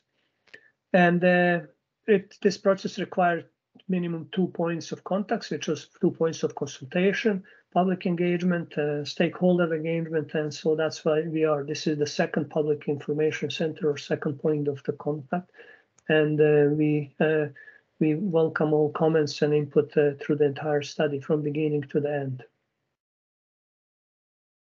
So the plan, uh, master process or the master planning process uh, I did mention uh, has uh, those phases and uh, the, our study is organized through these phases kind of like to to to best meet those requirements so in first phase of this study what we already did and that's typically what is part of the master plan it's when we look what are the issues what are the problem we call it opportunities kind of like almost uh, don't like to uh, we identify those uh, opportunities what is need for potential uh, improvement uh, immediately in the future and based on, on the, all those growth. Uh, we looked all background information, previous transportation master plan, other policies, so official plan, all other planning, pro, other studies. It can be other, for example, active transportation master plan if it's done, or recreational master plan, or something. All other planning uh, that they relate to this and uh, we then we identify those what are those problems and opportunities for improvements to address it to recommend it in phase two of the study we look uh, what are the potential solutions what to do uh, with these what was that needs some uh, mm, further uh, improvements or recommend for for further studies Uh, then we go through the process to evaluate them based on some uh, uh, technical criteria that they are again uh, industry uh, kind of like typical technical criteria. I will uh, go through that. Then we, as part of transportation master plan, it's kind of like implementation s- strat- strategy, how it will be implemented, how it will be, you know, designed, how it will be constructed one day, or or uh, what are the kind of like requirements. And, and there is always, uh, of course, uh, how it's going to be funded, uh, paid for that cost. So we are currently here, as it's shown uh, under phase two, uh, PA's public meeting two. And after this, we uh, were working on the kind of like packaging all this work, what we've done so far, technical work, assessment, studies to have draft transportation master plan and go through the kind of like a couple of submissions to the township staff to obtain comments, uh, refine it, and uh, put it in the, in the draft and final document. Uh, uh, if everything work, works well after this uh, and putting this document, the idea is kind of like somewhere in November to have the final uh, transportation master plan uh, presented to the council for adoption. Next.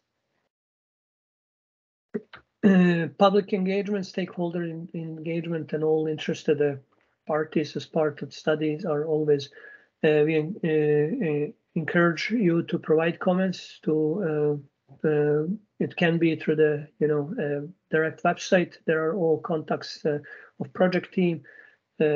This is the one of the way to uh, after this presentation to attend these meetings and uh, follow the any further notices on the on the website uh, of the future status of the project. And also you can find previous public meeting uh, or boards uh, for public meeting one that we had. Uh, they are also posted on the township website. So please uh, ask questions or try to uh, uh, follow the, you know, uh, any uh, further notices or uh, any other informations uh, from the posted on the website. Uh, Back to the public meeting uh, one, uh, we would like just kind of like summarize, highlight key comments. There was a, a number of residents and uh, interested uh, uh, stakeholders attending first public meetings. A couple of comments we just summarized here. Few uh, was about uh, really uh, a lot of these sidewalks uh, uh, plans. We will also talk in our this presentation about sidewalks or some recommendations for those active transportation improvements, uh, missing links, bike facilities. So mm, a lot of discussion was even in, in today earlier about uh, Menoke Beach Road areas for the some uh, uh, kind of like lack of uh, or safety issues, uh, lack of uh, area for for pedestrians or uh, also the uh, need for trail uh, near Menoke Beach Road.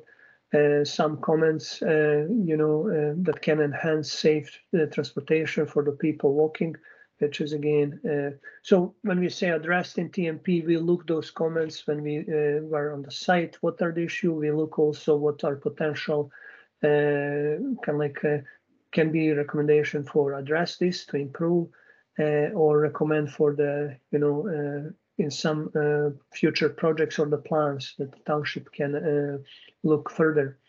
Settlement ar- areas like Coldwater and West Shore, uh, you know, there are some developments are coming in the area in the near future. There are some of them already uh, ongoing.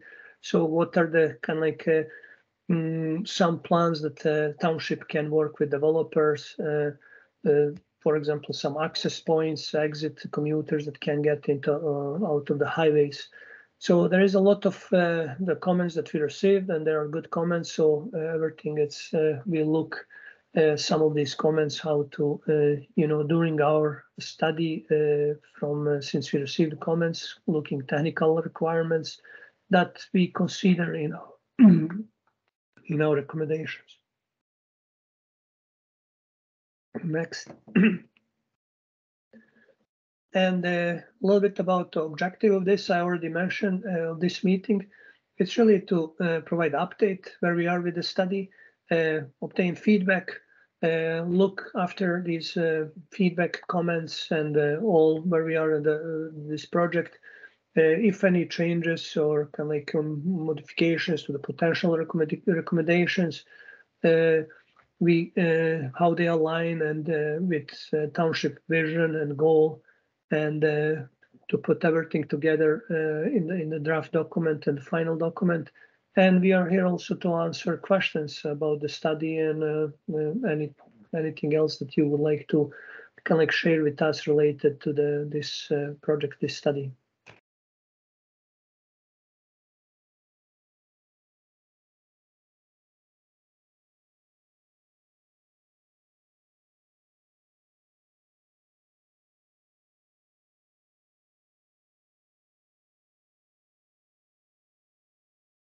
Mohammed, sorry, I think you're on mute.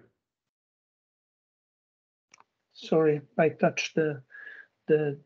So I'm not sure. I will start from beginning. Uh, official plan why we are bringing this or mentioning this is uh, I mentioned that the transportation master plan is the one uh, kind of like one study or the one document in overall other uh, important planning documents that means uh, that uh, township uh, is undertaking. Transportation master plan as component or as transportation is always or will be part of the official plan update. So it's really important they're going uh, uh, same time parallel updates. So there are some sessions, uh, some uh, uh, open house on Wednesdays uh, next week. If you would like to attend that, that's also good.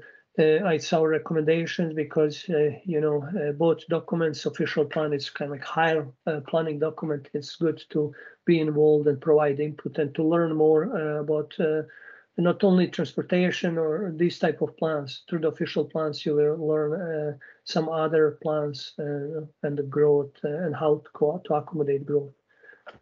So more details you can find on this link, and if any questions, you can ask us or uh, we will direct you to the project team from uh, uh, working on the official plan update. Next. Uh, objective of this study, uh, of transportation master plan is really the, to look for the enhanced transportation uh, network. So to look for township, uh, really the vi- vision and the goal to the growth, to accommodate that growth and, uh, you know, to enhance livable communities, you know, that will be supported through the economic development. Uh, there is tourism involved. Uh, there is uh, Severn is tourist attraction too, and the sustainable transportation practices. Uh, so it is smaller community, smaller township, but however, it's not far, uh, or it is part of that, as we will mention, uh, Golden or the Greater Toronto area. So it uh, doesn't look so far from uh, everything, uh, mm, the- all those growth in the area. So we will take through the, all those separate section of the study that we look the road classification, look for the road improvements, paving surfaces, dead ends, and so potential uh, improvement with regard to we identify a number of these gaps that can like uh, township maybe focus or recommend for the future project to uh, how to address those gaps. It can be road network or it can be also trails or or improvement with regard to some of the road network or active transportation facilities.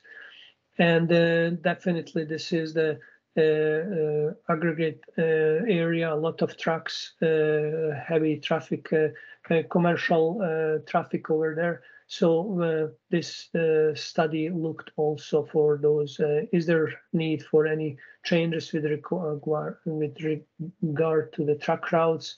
Uh, mm, There are a number of them across the township, so we also look for uh, those corridors. And uh, so that's overall kind of like goal of this transportation uh, uh, master plan. Growth, you will heard a lot through the presentation, it's growth. So um, typically, uh, transportation master plan is done uh, or it's good to update it every five to six years. So this is another update, uh, which always look for the changes or how to accommodate new plants, new growth. It's not only the township of Severn growths, uh, growths and, and plants. It's uh, you have to look uh, how the neighborhood, uh, neighboring municipalities, uh, counties, and provinces growing and, and moving and uh, implementing. Uh, that it's really mm, and how Severn also can be part of that, and it's already part. But you know, these transportation master plans and other uh, planning studies have to be in line with other uh, provincial and regional uh, planning documents. So uh, overall, I mentioned the uh, region is growing. Uh, uh, Simcoe County, it's getting close to 1 million by 2051 by population. And in general, there is about 1.5% growth per annum through the next uh, 29 years. So uh, growth is uh, anticipated. So these studies or this, there will be many of these updates up to, to 2051 uh, to accommodate that growth, not only this one. Transportation master plan. So the, as part of kind of like next phase of this project, what we did, we look for this uh, uh, forecast uh, based on existing road network, or based on the uh, existing uh, capacity issues, volumes, commercial vehicles, new development, and how we kind of like look for that 2041 uh, uh, traffic volumes, capacity issues, applying that growth, how the this transportation master plan will talk uh, what of these corridors may need improvement, uh, at what stage. Some of them uh, may need uh, before 2041, some of them uh, uh, are, you know, the, depends of the, of the capacity of the location or, or attraction or proposed future developments may uh, like remain pretty much uh, uh, not the same, but need some different type of improvements. And uh, so we look uh, in in the phases. Typically, look for all those kind of like ten years periods for uh, transportation master plans because those are kind of like high level, larger uh, area uh, studies uh, for 26, 31, and 41. So some of, as I mentioned, some of these improvements may need to be implemented earlier or recommended earlier, or be planned or to look for the financial part or cost uh, at early stage. Uh, again, it will be revisited again with future transportation master plans, same like we look for the previous one, uh, uh, and uh, go through the implementation. Uh, depends of of importance and capacity issues. Thanks. As part of analysis, we did screen line analysis. In technical terms, it's kind of like you know we we split the. I mean, kind of like we we look for entire township those major corridors, major uh, areas of, of uh, travel attractions, uh, and put those screen lines so that we can capture uh, the major corridors and major uh, traveling directions, north, east, north, south, east, west. So just to look based on the volume, based on, on the travel, where there are potential capacities through this corridor. So it's just for our uh, uh, purpose of the study. We pretty much, I think, covered the entire uh, major corridor to see uh, how and how many uh, vehicles and what type of vehicles uh, are traveling through these screen lines. and based on that, we look for the mm, improvements for some of these roads in addition to the just kind of like the not only kind of road corridors uh, in coordination with uh, township staff uh, we look for uh, key areas or key intersections or key uh, concerns uh, for a little bit more in-depth studies. What you see here are those kind of like i think a number of intersections that we went and look for potential issues. It can be issues you know operational number of collisions need for uh, mm, make upgrades to the traffic control. Uh, uh, for example, maybe warrants that if there is no stop signs or if there is stop signs, is there warranted based on the capacity or based on the group? Uh, or when that needs to be implemented for example, if it's always stopped, that it's uh, based on the on the warrants, uh, number of vehicles, number of pedestrians, or number of collisions uh, that it's needed to recommend for signalization. So we'll look a number of these uh, intersections, and it will be all presented through our project, and some of them we will touch through the this study, uh, just potential improvements, recommendations like traffic signals. Uh, as part almost kind of like any transportation study, we always look for the and safety is uh, um, number one uh, in, in everything. Uh, so we look for collision uh, history or collision uh, areas uh, through the the major through the entire township. What we could obtain typically we look for the five-year collision data and uh, the goal is really to look collision history to identify some of these uh, areas that may have uh, a larger number of collisions. Then we look kind of like uh, uh, what type of collisions, uh, and based on that, you know, some recommendation may be based how to address that to reduce or eliminate completely collision. It's not just part of the study that you know the township may take individual study or uh, work with, let's say, if it's a, a county intersection or close to the provincial road, uh, work with other jurisdiction uh, to address some of these safety concerns. So, but it's uh, we did look also safety uh, and collision assessment.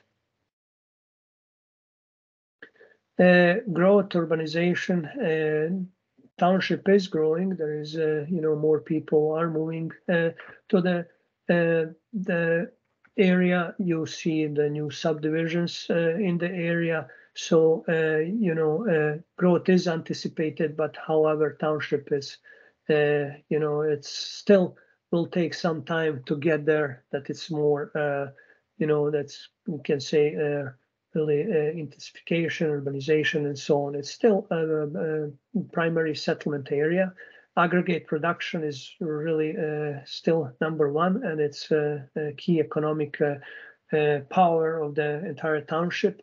So uh, we understand, uh, we we recognize, and we look for those heavy vehicle traffic. Uh, some concern these corridors, um, whole road. We look for them. They over time they they change. along this corridor, there's maybe more residential so there are some concern. We look in those uh, roads. Uh, is there potential for uh, address some of these concerns? Maybe recommend some uh, new corridors. So as part of this study, we look for that. It may not be changes, but we look uh, how uh, or when maybe maybe need to address some of these heavy vehicle traffic. multimodal, I mentioned that active transportation. It is uh, Uh, as we all uh, see more and more, it's uh, focus on those healthy communities, more uh, activities. Uh, particularly, it came through the COVID time that we learned a lot of things, but it's for some time now. in order to, in in addition to those car and vehicular or road network improvements just for the roads. Now we are looking for the improvements to accommodate more cyclists, uh, more uh, pedestrians, connectivity, more safe. So you will see a number of these recommendations through our study. Um, it is also talking about how to improve these connections or uh, um, to make it, for example, when opportunity comes uh, to resurface road, to widen a little bit, to accommodate maybe even paved shoulder.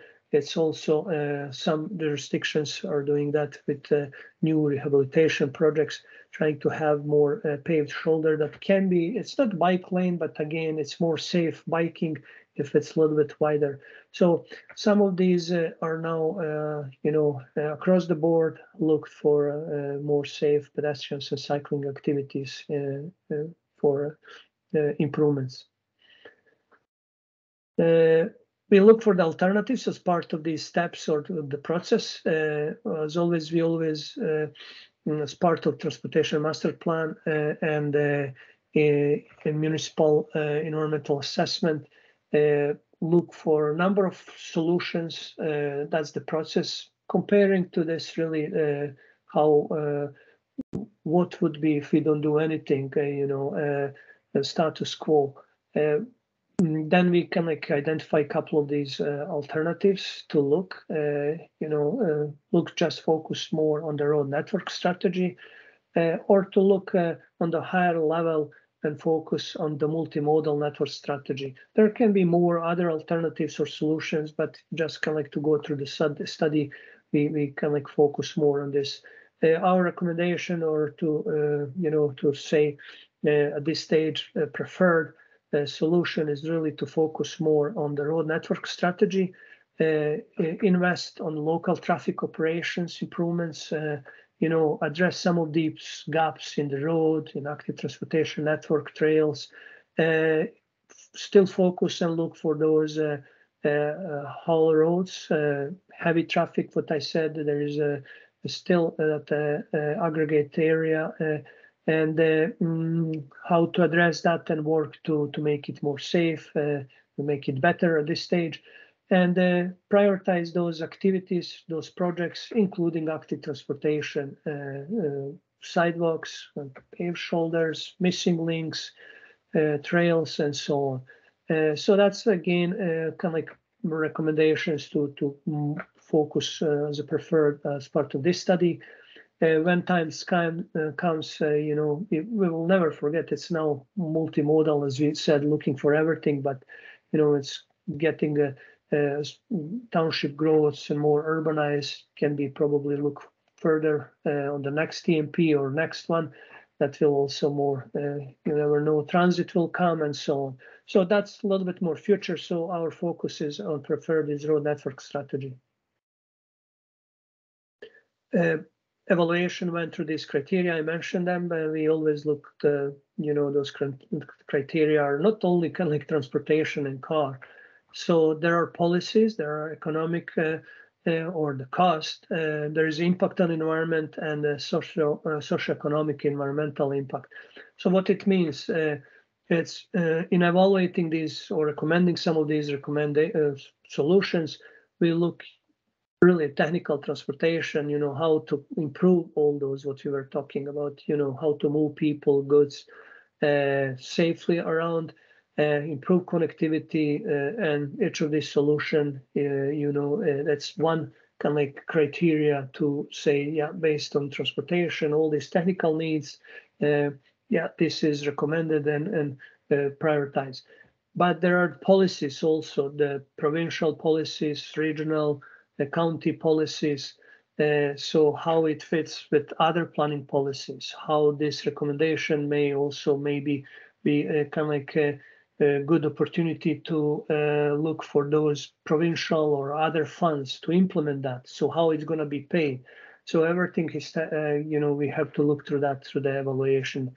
Uh, economic uh, cost, I may say that, and uh, how these uh, recommendations or how in phases may be uh, recommended to implement so that that township can work and, and plan for the future uh, capital projects or work for those fundings, what I said, or through the development charges, how these projects uh, can be uh, uh, implemented and uh, uh, some of them uh, that move forward. Environmental, any of these recommendation, again, what is their impact? Uh, is there impact of the uh, building that road, widening that road, uh, environmental? So each of these projects uh, will go uh, if, you know, advance to the that level uh, to those assessment, what is their potential environmental impact, you know, environment, is there any crossings, for example, or impact on natural environment. So that's also one of the criteria that it's looked always and socio-economic environmental. So uh, how everything what we are recommending is, is fitting into those uh, other plans, uh, developments and so on. Uh, and Next slide, Mitch.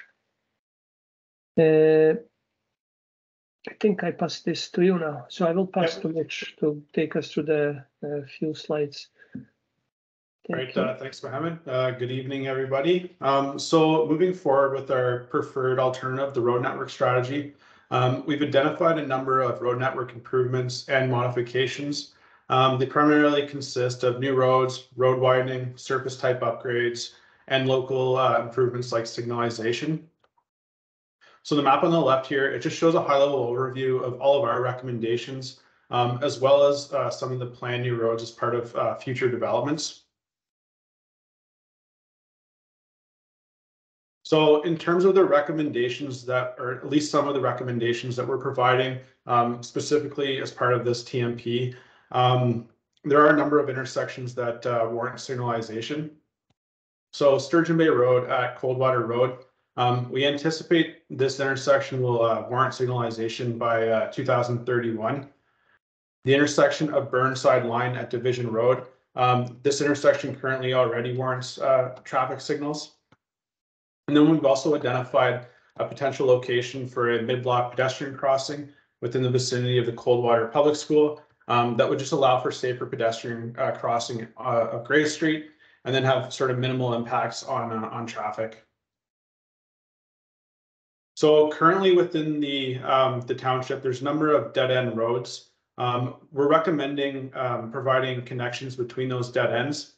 Um, so between Bayou Road and Amigo Drive, between Amigo Drive and Wood Avenue, uh, Menoke Beach Road to Thompson Crescent, and Cox Road to Hawkins Drive. Um, we're also recommending um, an extension of West Street and Coldwater um, up to County Road 17. So we've also identified a number of roadways um, that are currently gravel surfaces. However, um, based on the volume of traffic, they're warranted for upgrades to um, asphalt. So Laughlin Falls Road between Taylor Line and Upper Big Chute Road, and then Matchedash Street at County Road 16. Um, the lane, it's uh, currently a two-way road. Uh, however, the the road's fairly narrow uh, with approximately five meter right of way. So we're recommending converting this road into a, a one-way, um, just maintaining northbound traffic. In terms of road widening, uh, we're recommending widening Gray Street um, just to allow for on-street parking and then a bike lane uh, near River Street. Uh, Michael Drive and Gill Street, we're also recommending for widening uh, just to facilitate sidewalks and cross-section urbanization. Um, one of the, the more significant uh, recommendations we're making that would require uh, quite a bit of consultation with MTO um, is the realignment of Highway 11 between New Braley Line and South Sparrow Lake Road um, and a service road uh, that would allow access into uh, West Shore. Um, so currently there's a high number of right in, right out accesses uh, off of the highway into West Shore. Um, typically, we want to avoid accesses like this on a freeway um, for safety reasons. So um, the realignment of the highway and the new service road would just allow for uh, safer access into West Shore. Um, so currently the township doesn't have any emergency detour routes and uh, based on the, the road network, there's fairly limited opportunities to implement them. Um, we did identify uh, one possible location for Highway 11 um, that would just be along Agnew Road between South Sparrow Lake Road and Shoreview Drive. So um, separating heavy vehicle traffic from the the rest of heavy uh, from the rest of traffic, um, and especially um, for pedestrian traffic, is, is a primary goal for this uh, this TMP. Um, so currently, the township um, has quite a few uh, north-south um, haul routes already, uh, and only one east-west uh, route, uh, which is along Cambrian Road. Um, so really, we wanted to look for opportunities to provide an additional east-west haul route that would allow direct access to Highway 12. Um, so we looked at a number of options. We looked at Warminster Road, um, Division Road, Division Road down to Fairgrounds Road. Um, and all of these options um, had quite a few drawbacks. So our preferred uh, east-west connection um, would be along Thorburn Road from uh, Nelson Aggregate uh, to Highway 12. Uh, this would require um, building a new road from Wainman Line to Highway 12 and would also require um, building within the township of Oro-Medonte. So moving on to active transportation. Um, active transportation just refers to any active mode of travel, so primarily walking and cycling. Um, active transportation, it's still a it's still a significant focus of this TMP, um, with our primary goal uh, looking for connections uh, between the primary settlement areas and to the Uhthoff Trail. So we proposed a number of uh, active transportation network improvements uh, based on um, our review of the existing township active transportation facilities, um, the anticipated future growth, uh, identifying key locations such as schools, community centers, employment hubs, commercial areas, and recreational or tourism areas. And then identifying all the existing and the future active transportation gaps. So for on-road cycling, um, there's a number of uh, different facility types um, that just depend on the roadways, uh, traffic volume, operating speeds, um, and its environment, whether it's urban or rural. So for rural roads, typically we'd be looking at paved shoulders, uh, buffered paved shoulders, or signed bike routes. Um, for urban areas, uh, typically we're looking at conventional bicycle lanes, so it's just a, a lane dedicated dedicated to cycling. So the map uh, map here just shows our, our recommended on-road cycling network. Um, it's a combination of uh, signed bicycle routes, paved shoulders, and a few um, uh, traditional bike lanes. So the primary signed bike route uh, was established by MTO as part of the province-wide cycling network, and it essentially runs uh, from the Uhthoff Trail along Cambrian Road to South Sparrow Lake Road, and then also to County Road 52 and out of the township. And there's also a connection on Carlyon Line uh, south to Division Road. For paved shoulders, um, we're looking at Division Road um, from Wainman Line to the Telford Line overpass, uh, Souls Road, and then up to Menoke Beach Road.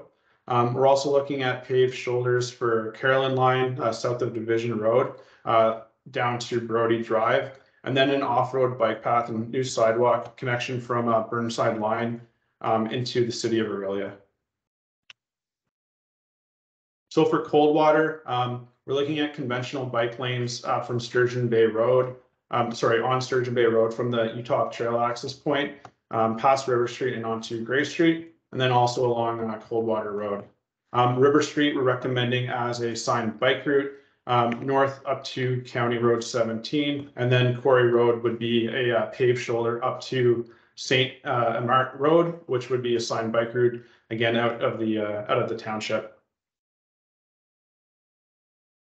So for Washago, um, we're recommending a, a, traditional bike lane um, on Muskoka Street uh, within like the built up commercial area with the remainder of Muskoka Street um, as a paved shoulder up to County Road 52.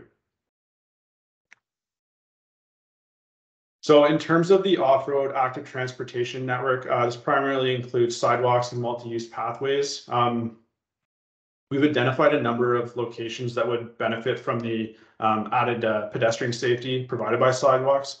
And we base this off of um, a priority system. So um, high priority areas, these are areas with uh, higher than average number of vulnerable road users. Uh, so within the vicinity of schools, trails, community centers, commercial areas. Um, medium priority areas, uh, these are areas uh, which still have uh, pedestrian activity um, and they're within the vicinity of uh, high traffic volume roads. Where low priority areas, again, um, there is some pedestrian activity, but they're within the vicinity of uh, low volume roads. So looking at Coldwater, um, there's currently already a few existing sidewalks, um, but we are recommending uh, a new sidewalk on the north side of Sturgeon Bay Road between uh, the Uhthoff Trail and River Street, um, sidewalks on Brick Pond Road, Wiley Street, um, George Street, Michael Ann Drive, Shaw Street, and Gill Street. Um, the sidewalks shown here and this multi-use pathway, these are part of a, a future development. Um, but we are recommending extending uh, the Uhthoff Trail um, at Fire Hall Lane up to uh, Gray Street as a new multi-use pathway. So the Uhthoff Trail uh, through Coldwater is um, fairly discontinuous. So there's one access point on Sturgeon Bay Road um, west, and then another one um, just south of Gray Street off of Fire Hall Lane. So we're recommending um, realigning the trail to its previous alignment, um, which kind of ran across the river like this. But uh, we would have to acquire this property here to do that realignment. But it would allow for a continuous uh, trail through the uh, Coldwater. So for West Shore, we're also recommending a number of sidewalks, um, primarily on Lakeside Drive and Bayou Road, with uh, some sidewalks on Highview Avenue and Coronation Avenue, just within the vicinity of the school here. Um, we're also proposing a new multi-use pathway that would just run uh, south from Grand Tamarack Crescent down to Menoke Beach Road. Um, part of this would be developed, uh, from, by a developer. Um, just slightly north of West Shore, um, again, we're proposing another multi-use pathway that would run north along Goldstein Road, Bayview Road across the highway, and then up, uh, South Sparrow Lake Road. And this again would connect to, uh, another planned, uh, multi-use pathway from the, uh, Turnbull Drive development. So Marchmont, um, we're proposing a multi-use pathway, um, along Wayman Drive and then on Division Road, um, past the school here connecting to Wainman Line. And then for sidewalks, we're recommending, uh, sidewalks on Marchmont Road that would connect to the existing, uh, sidewalk there. And then again on Town Line Road, connecting to the, the sidewalks on Marchmont Road. Um, other sidewalks, um, to the south of Division Road, along Confederation Drive, up north to Division Road, uh, near the school. So for, uh, recommending sidewalks, um, on Hamilton Street, and then just continuing the existing sidewalk system on Muskoka Street, south to County Road one sixty-nine, and then to Quinton Street, south to the, uh, the existing park here. So I think I will turn it over to Mohammed. Thanks, uh, Mitch, uh, appreciate it. Uh, Just uh, to move forward, uh, was the next uh, or the part of the study that we uh, looked uh, back to some of these policies uh, or uh, important for for the township is really to uh, look for some updates in their mm, you know up up to the some latest mm, industry standard. In this case, for the road classification, we recognize that the township is mainly rural and in, to using this opportunity as update of transportation master plan, uh, recommendation is to uh, be uh, in line with industry guidelines to uh, have these type of roads uh, to align to those uh, industry guidelines, as well as some regional or other municipalities roads terminology. Uh, why this is needed, it's also, uh, it's not only transportation master plan and to have this road uh, classification, uh, of like uh, to have it uh, updated.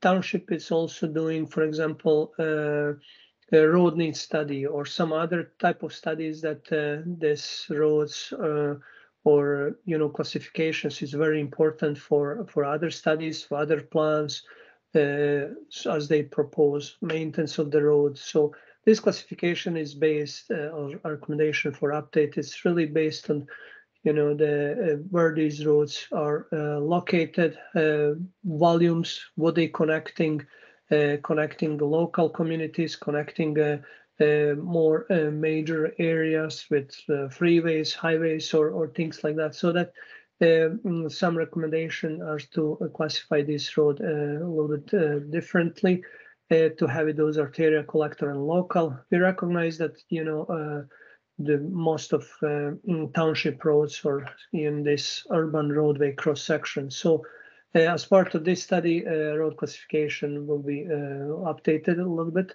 So that's also fit into this transportation component of the official plan. So that that terminology is the same uh, for other documents. So that's why we brought it here. And uh, based on that, what what kind of like I said, uh, mm, we recommend a couple of these uh, uh, changes for the uh, road classification uh, to change. For example, a division road to call it uh, to be classified as an arterial uh, road uh, its long-term uh, plan to for county of Simcoe uh, jurisdiction. So some of these road, for example, counties in in, a, under uh, arterial roads are typically uh, in jurisdiction, typically uh, in uh, uh, higher jurisdiction in county. So some of these road may be over time taken uh, or transferred to the county.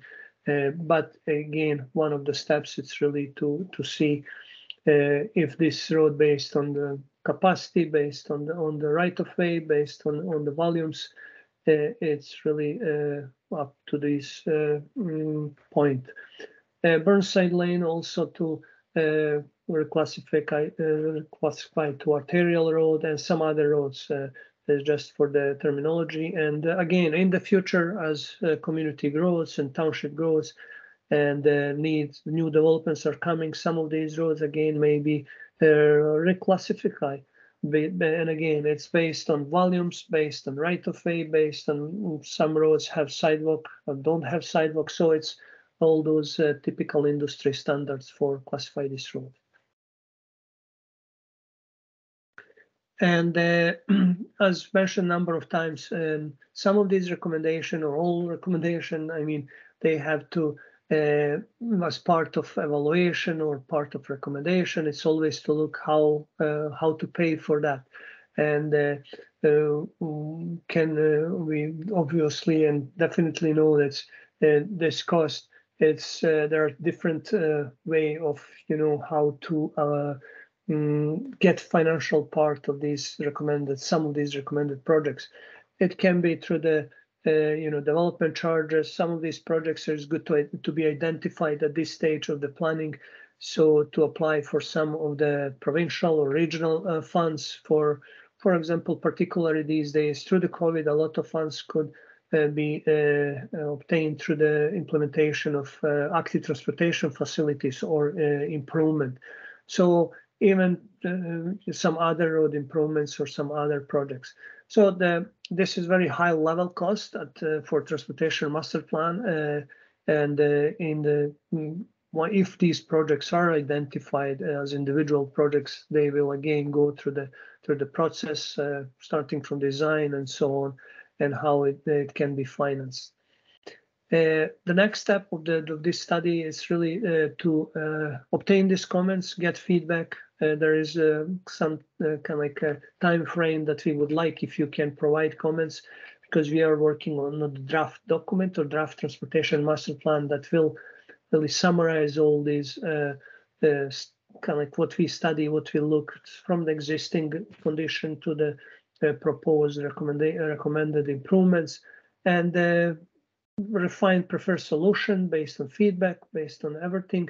Look for the cost estimate. It's again high level cost estimate and look for some uh, opportunities how some of these costs can be uh, covered or sharing cost. Uh, uh, also, some of these recommendations uh, as part of transportation road network or the future one uh, it's also part of official plan, how it can be also passed or to look for the development charges, how developers can also uh, pay part of these uh, future uh, identified projects or the improvements.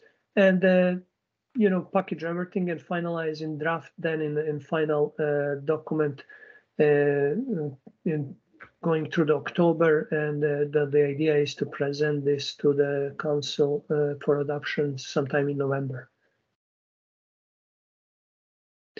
Uh, feedback uh, mentioned a number of times. We are here to listen, to get your comments. To uh, these, it's not stop just this meeting or after the meetings.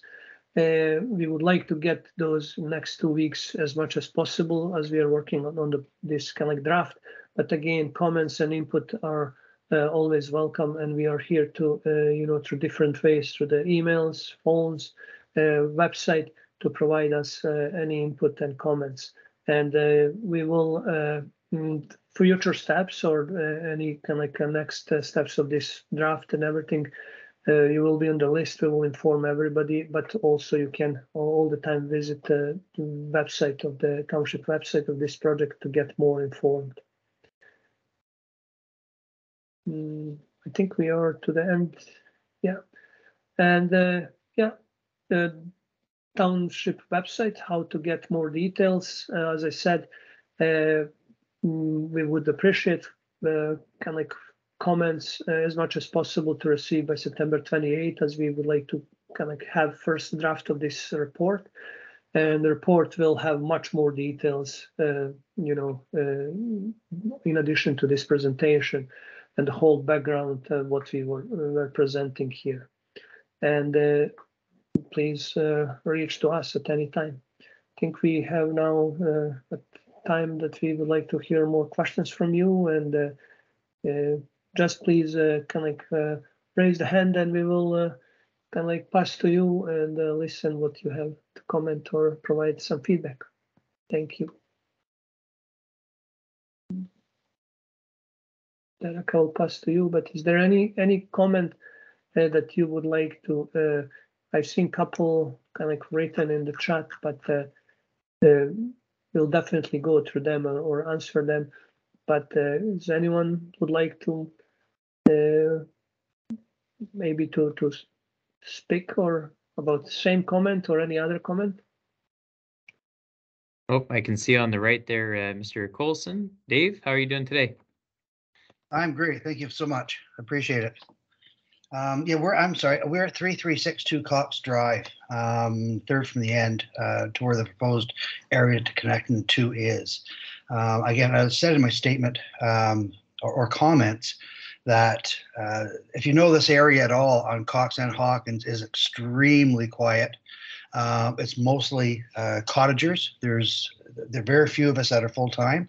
So as you can imagine, um, kids, grandkids, dogs all roam around. It's bush on the east side, all the way along except for one house along the whole entire kilometer. So um, being a, uh, a quiet uh, cul-de-sac or dead end road, um, I'm not sure the reasoning is. um, Is it just because of uh, dumped or like uh, plows don't want to do a three-point turn at the end in the wintertime or uh, the garbage pickup doesn't want to do three um, three point turn in, in the summertime and wintertime. I, I'm not sure what, what the reasoning is to connect these two very, very quiet roads. Thank you. I can probably handle, you want me to address this one, uh, Mohammed? Yes, yeah, you can. So cer- certainly, uh, I've, we know the area well. Um, our consultant does as, as well. We took them on a nice tour and got to see the nitty gritty of, uh, of the bush that you described. Um, but yes, the, the transportation network does work best when it's not segmented. And so these are the, the basic principles of transportation design. Um, you can imagine that, uh, a connection may may offer a alternative route out in the event of an emergency or um, you know there was other other reasons why the one way in one way out was obstructed so it is just best planning policies that's why we've continued to make these recommendations year over year or plan after plan just because it it does make um, uh, you know the most sense but uh, certainly appreciate the comment you know the area does it's very rural uh, it's very cottagey and uh, generally speaking, both roads have limited traffic. Uh, Thank you for answering that. Um, The other concern I have, I didn't write in the chat, is the, the hill on Huffman. Um, We've had times in the past in the winter time where cars can't get up. uh, Tow truck vehicles couldn't get up because they're only two-wheel drive because how horrible that hill is, how steep it is, and the condition of the road. Um, I can only imagine if an ambulance, the ambulance would have, would have the same, uh, the, the same thing happen to it. It would be stuck on a hill because of uh, the condition of it. Ambulances are only two-wheel drive, just like a tow truck is. So I can imagine that's a way more important to get an ambulance up that hill than than having a plow go through straight through. Thank you. Yeah, cer- certainly. Thanks again for that comment too. I mean, that that almost further um, kind of supports the the additional connection, right, to uh, to to that roadway where we already have you know limited access in that area um, and constrained by geometry, uh, particularly vertical geometry. Yeah, thank you very much. I think we have a another NK uh, guest. Uh, Hi. go ahead, please. Yeah. Hi, hello. Thank you so much for a very informative meeting. I actually listened to both segments and um, gathered a lot of information that um, was necessary, I guess, for overall picture of what's been going on in the township as far as planning. So um, my question is, um, in addition to the comments that I've already posted, um, as an owners of the property that will be directly affected by uh, the change, uh, and again, I'm talking about Hawkins Drive being connected to Cox Drive. Um, where do we get more detailed information as far as how much of the property will be affected by it, the timing of the construction? Um, how safe would it be for road users to um, be located on the road that uh, that will be passing two tee off um, uh, golf course areas, um, we're finding golf balls all over our front yard, and that's far away from the tee off area. And if you to put the road there, uh, what is planned to be put in for protection of um, road users? So all of those questions, who we can address that to and have uh, perhaps private meeting or private email communication, because details are important. Uh, we are quite, quite concerned about the future of being um, owners at the property that will be changed forever by this change. So yeah, appreciate any of your um, answers and uh, support. Yeah, thank you. And uh, Mohammed, I might uh, take a stab at this and then help me along as I go. Yeah. Uh, these projects and this particular study is very high level and conceptual. So um, none of the recommendations of of this plan kind of immediately go to construction. It's there's a number of steps ahead of that. And uh, one is um, as we build new roads, we have to follow the remaining steps of the municipal class environmental assessment process uh, which looks at a number of different aspects, including uh, roadside safety and environmental impact and um, property acquisition or not, um, that sort of thing. So Mehmet or Mitch, did I miss any parts of those? Uh, No, that's, that's the, uh, again, this is the very uh, high level planning study that uh, will look those potential needs that uh, township will take from here and work on the on, on implementation. And some of these projects, like you said, uh, maybe uh, in phased, so maybe in 10 years to get there. And as as a community or the area growth and plan for for for them. So it is uh, not that you're gonna see any of these projects minimum, you know, 10 years from here. But again, you will heard if let's say particular that projects is selected that it's gonna, gonna go through the financial part. There's gonna be another study as that individual project that will go through the municipal class EA. There is gonna be uh, again planning study for that particular uh, connection or widening or whatever it is. Uh, then it's going to be design, then it's going to be for construction. So it takes year. Typically, how I like to say from this kind of like transportation master plan takes minimum 10 years and sometimes to uh, implement larger projects. However, doesn't mean that, for example, uh, some of those minor improvements cannot be, I'm not uh, talking about building new road or uh, new road or connection. Let's say uh, widening uh, when if there is time that municipality already have plan, let's say for resurfacing of the road, maybe to do, uh, put uh, paved shoulder. So some of these projects may be addressed faster, but some of these larger projects, they are, you know, it's long process if it's really carried forward uh, uh, through this study and other studies. So uh, there are phases and then the time that from from this time to go to the, you know, don't don't think it will be in two three years uh, all done. In, in many cases, some other roads or the roads up to that, let's say, connection or improvements needs to be uh, uh, improved. So this study identify maybe this is the plan for future improvement, connect that so the developers that's coming in the area, maybe and they also have to count on that so that the township can go and uh, look through some funding through the development charges uh, process. So it's important to identify them so for the future plans, future projects. And I think just to add, we have um, in the chat box, I don't know if you can see the chat box, but we give um, some direction on how to stay engaged in this particular study.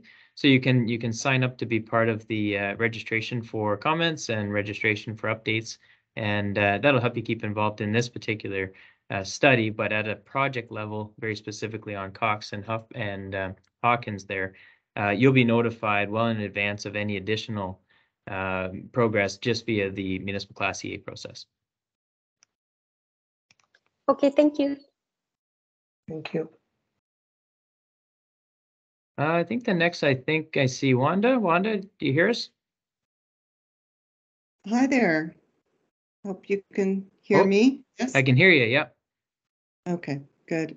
Don't know why my camera's uh, not showing, but anyway, thank you. And I'm sorry that I'm late to the meeting. I had another one that went over. But my, um, my question, it didn't come up in the part of the presentation I saw, was around the relationship that um, this plan and I guess this, the township has with MTO when it comes to uh, exit ramps, on ramps, et cetera, um, on Highway 11. And I'm thinking specifically, uh, I think it covers wards three and four are the ones. We have a lot of feeder streets. It's always been a safety concern, but now with new developments and plans, and I know that the planning cycle takes a long time. I'm just wondering if you could just educate me a little bit about what that relationship's like and whether or not they've been engaged, et cetera. Thank you. Derek, I can just men- mention, uh, it's, it's excellent question actually and an excellent point because we show that uh, the, uh, it was a lot of discussion and, and kind of like for us uh, to importance of transportation master plan as a planning document uh, just for that reason to uh, let's say the local community uh, put this particular uh, issue or, or projects future projects that may be completely done uh, by ministry of transportation.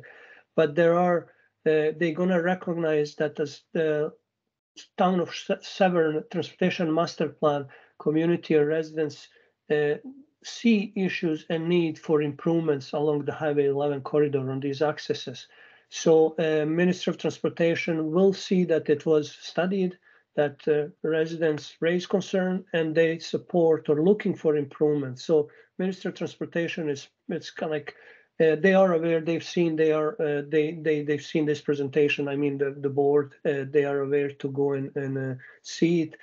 Uh, but how it will be uh, mm, in the future and when they will it's again good sign to them to look to put their on their radar on their plan, planning projects that this community looking for improvements along this area so to look for potential you know uh, alignment as, we've shown that it's definitely is going to be minister of transportation project but it's good to good to give them idea what uh, severn is thinking how it will help community for the safety, for the access, for everything. Will that be exactly like that? It's again very conceptual. Will they ever consider it in that way? But it's good to say we'll look at. We are asking that now ministry of higher jurisdiction look into those.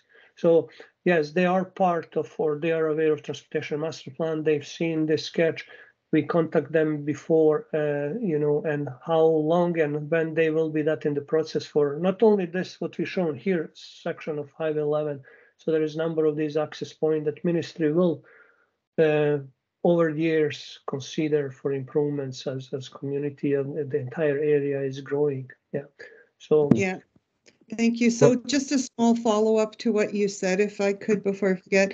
Um, From a community advocacy and allies um, lens, so that we're supportive of what the township's doing, et cetera, um, is there anything that you would recommend that, uh, is there a role for the community um, with MTO to also get this on their radar? So as you mentioned, they've seen a presentation, et cetera.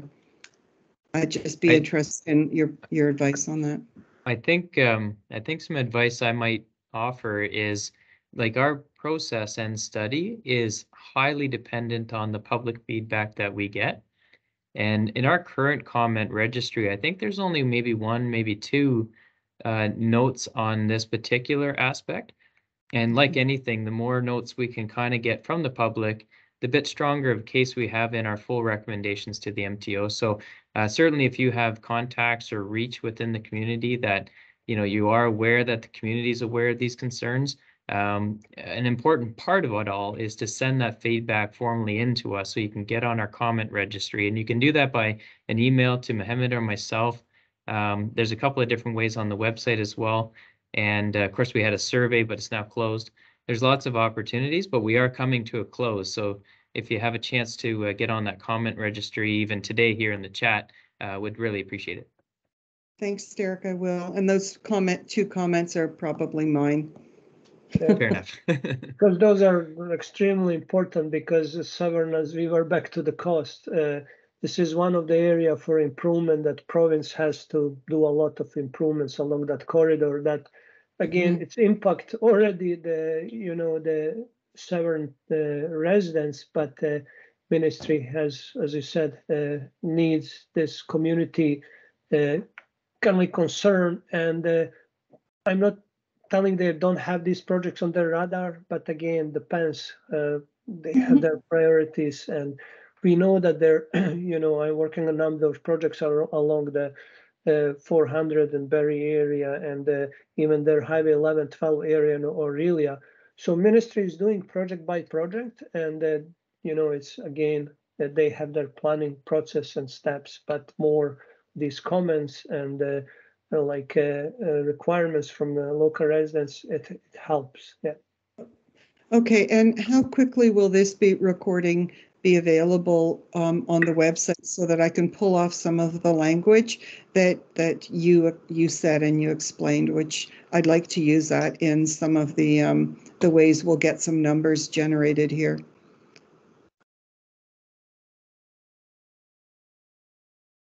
Eric, you're a mute. Sorry.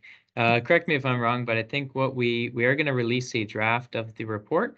And, uh, and then we're looking for comments actually up to, is it the end of September, just a couple of weeks? Is that right? Yeah, just a couple more weeks. And, um, and then we'll be closing to a, a draft to council, which still has opportunity for comment through some different means. But, uh, this, this method will end at about the end of September. Yeah, but this particular recording. Oh, this will be available right away. Perfect. Yeah, to- Okay, probably even as early as tomorrow, the following day. Yeah. Thank you. I'll look for And, it. and I also think you can, uh, if you missed the f- first public meeting, the, they are also there. Just follow the links, uh, yeah, Thank you. and first uh, presentation from first public meeting too, yeah.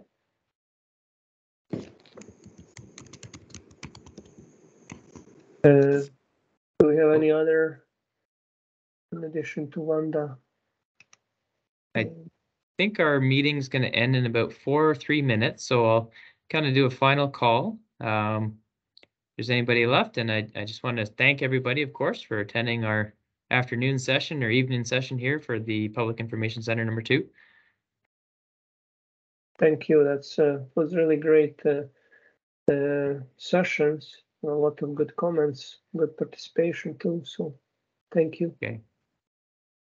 That's great. Well, thanks, everybody, and uh, have a good night. Thank you. Thank you. Thank you.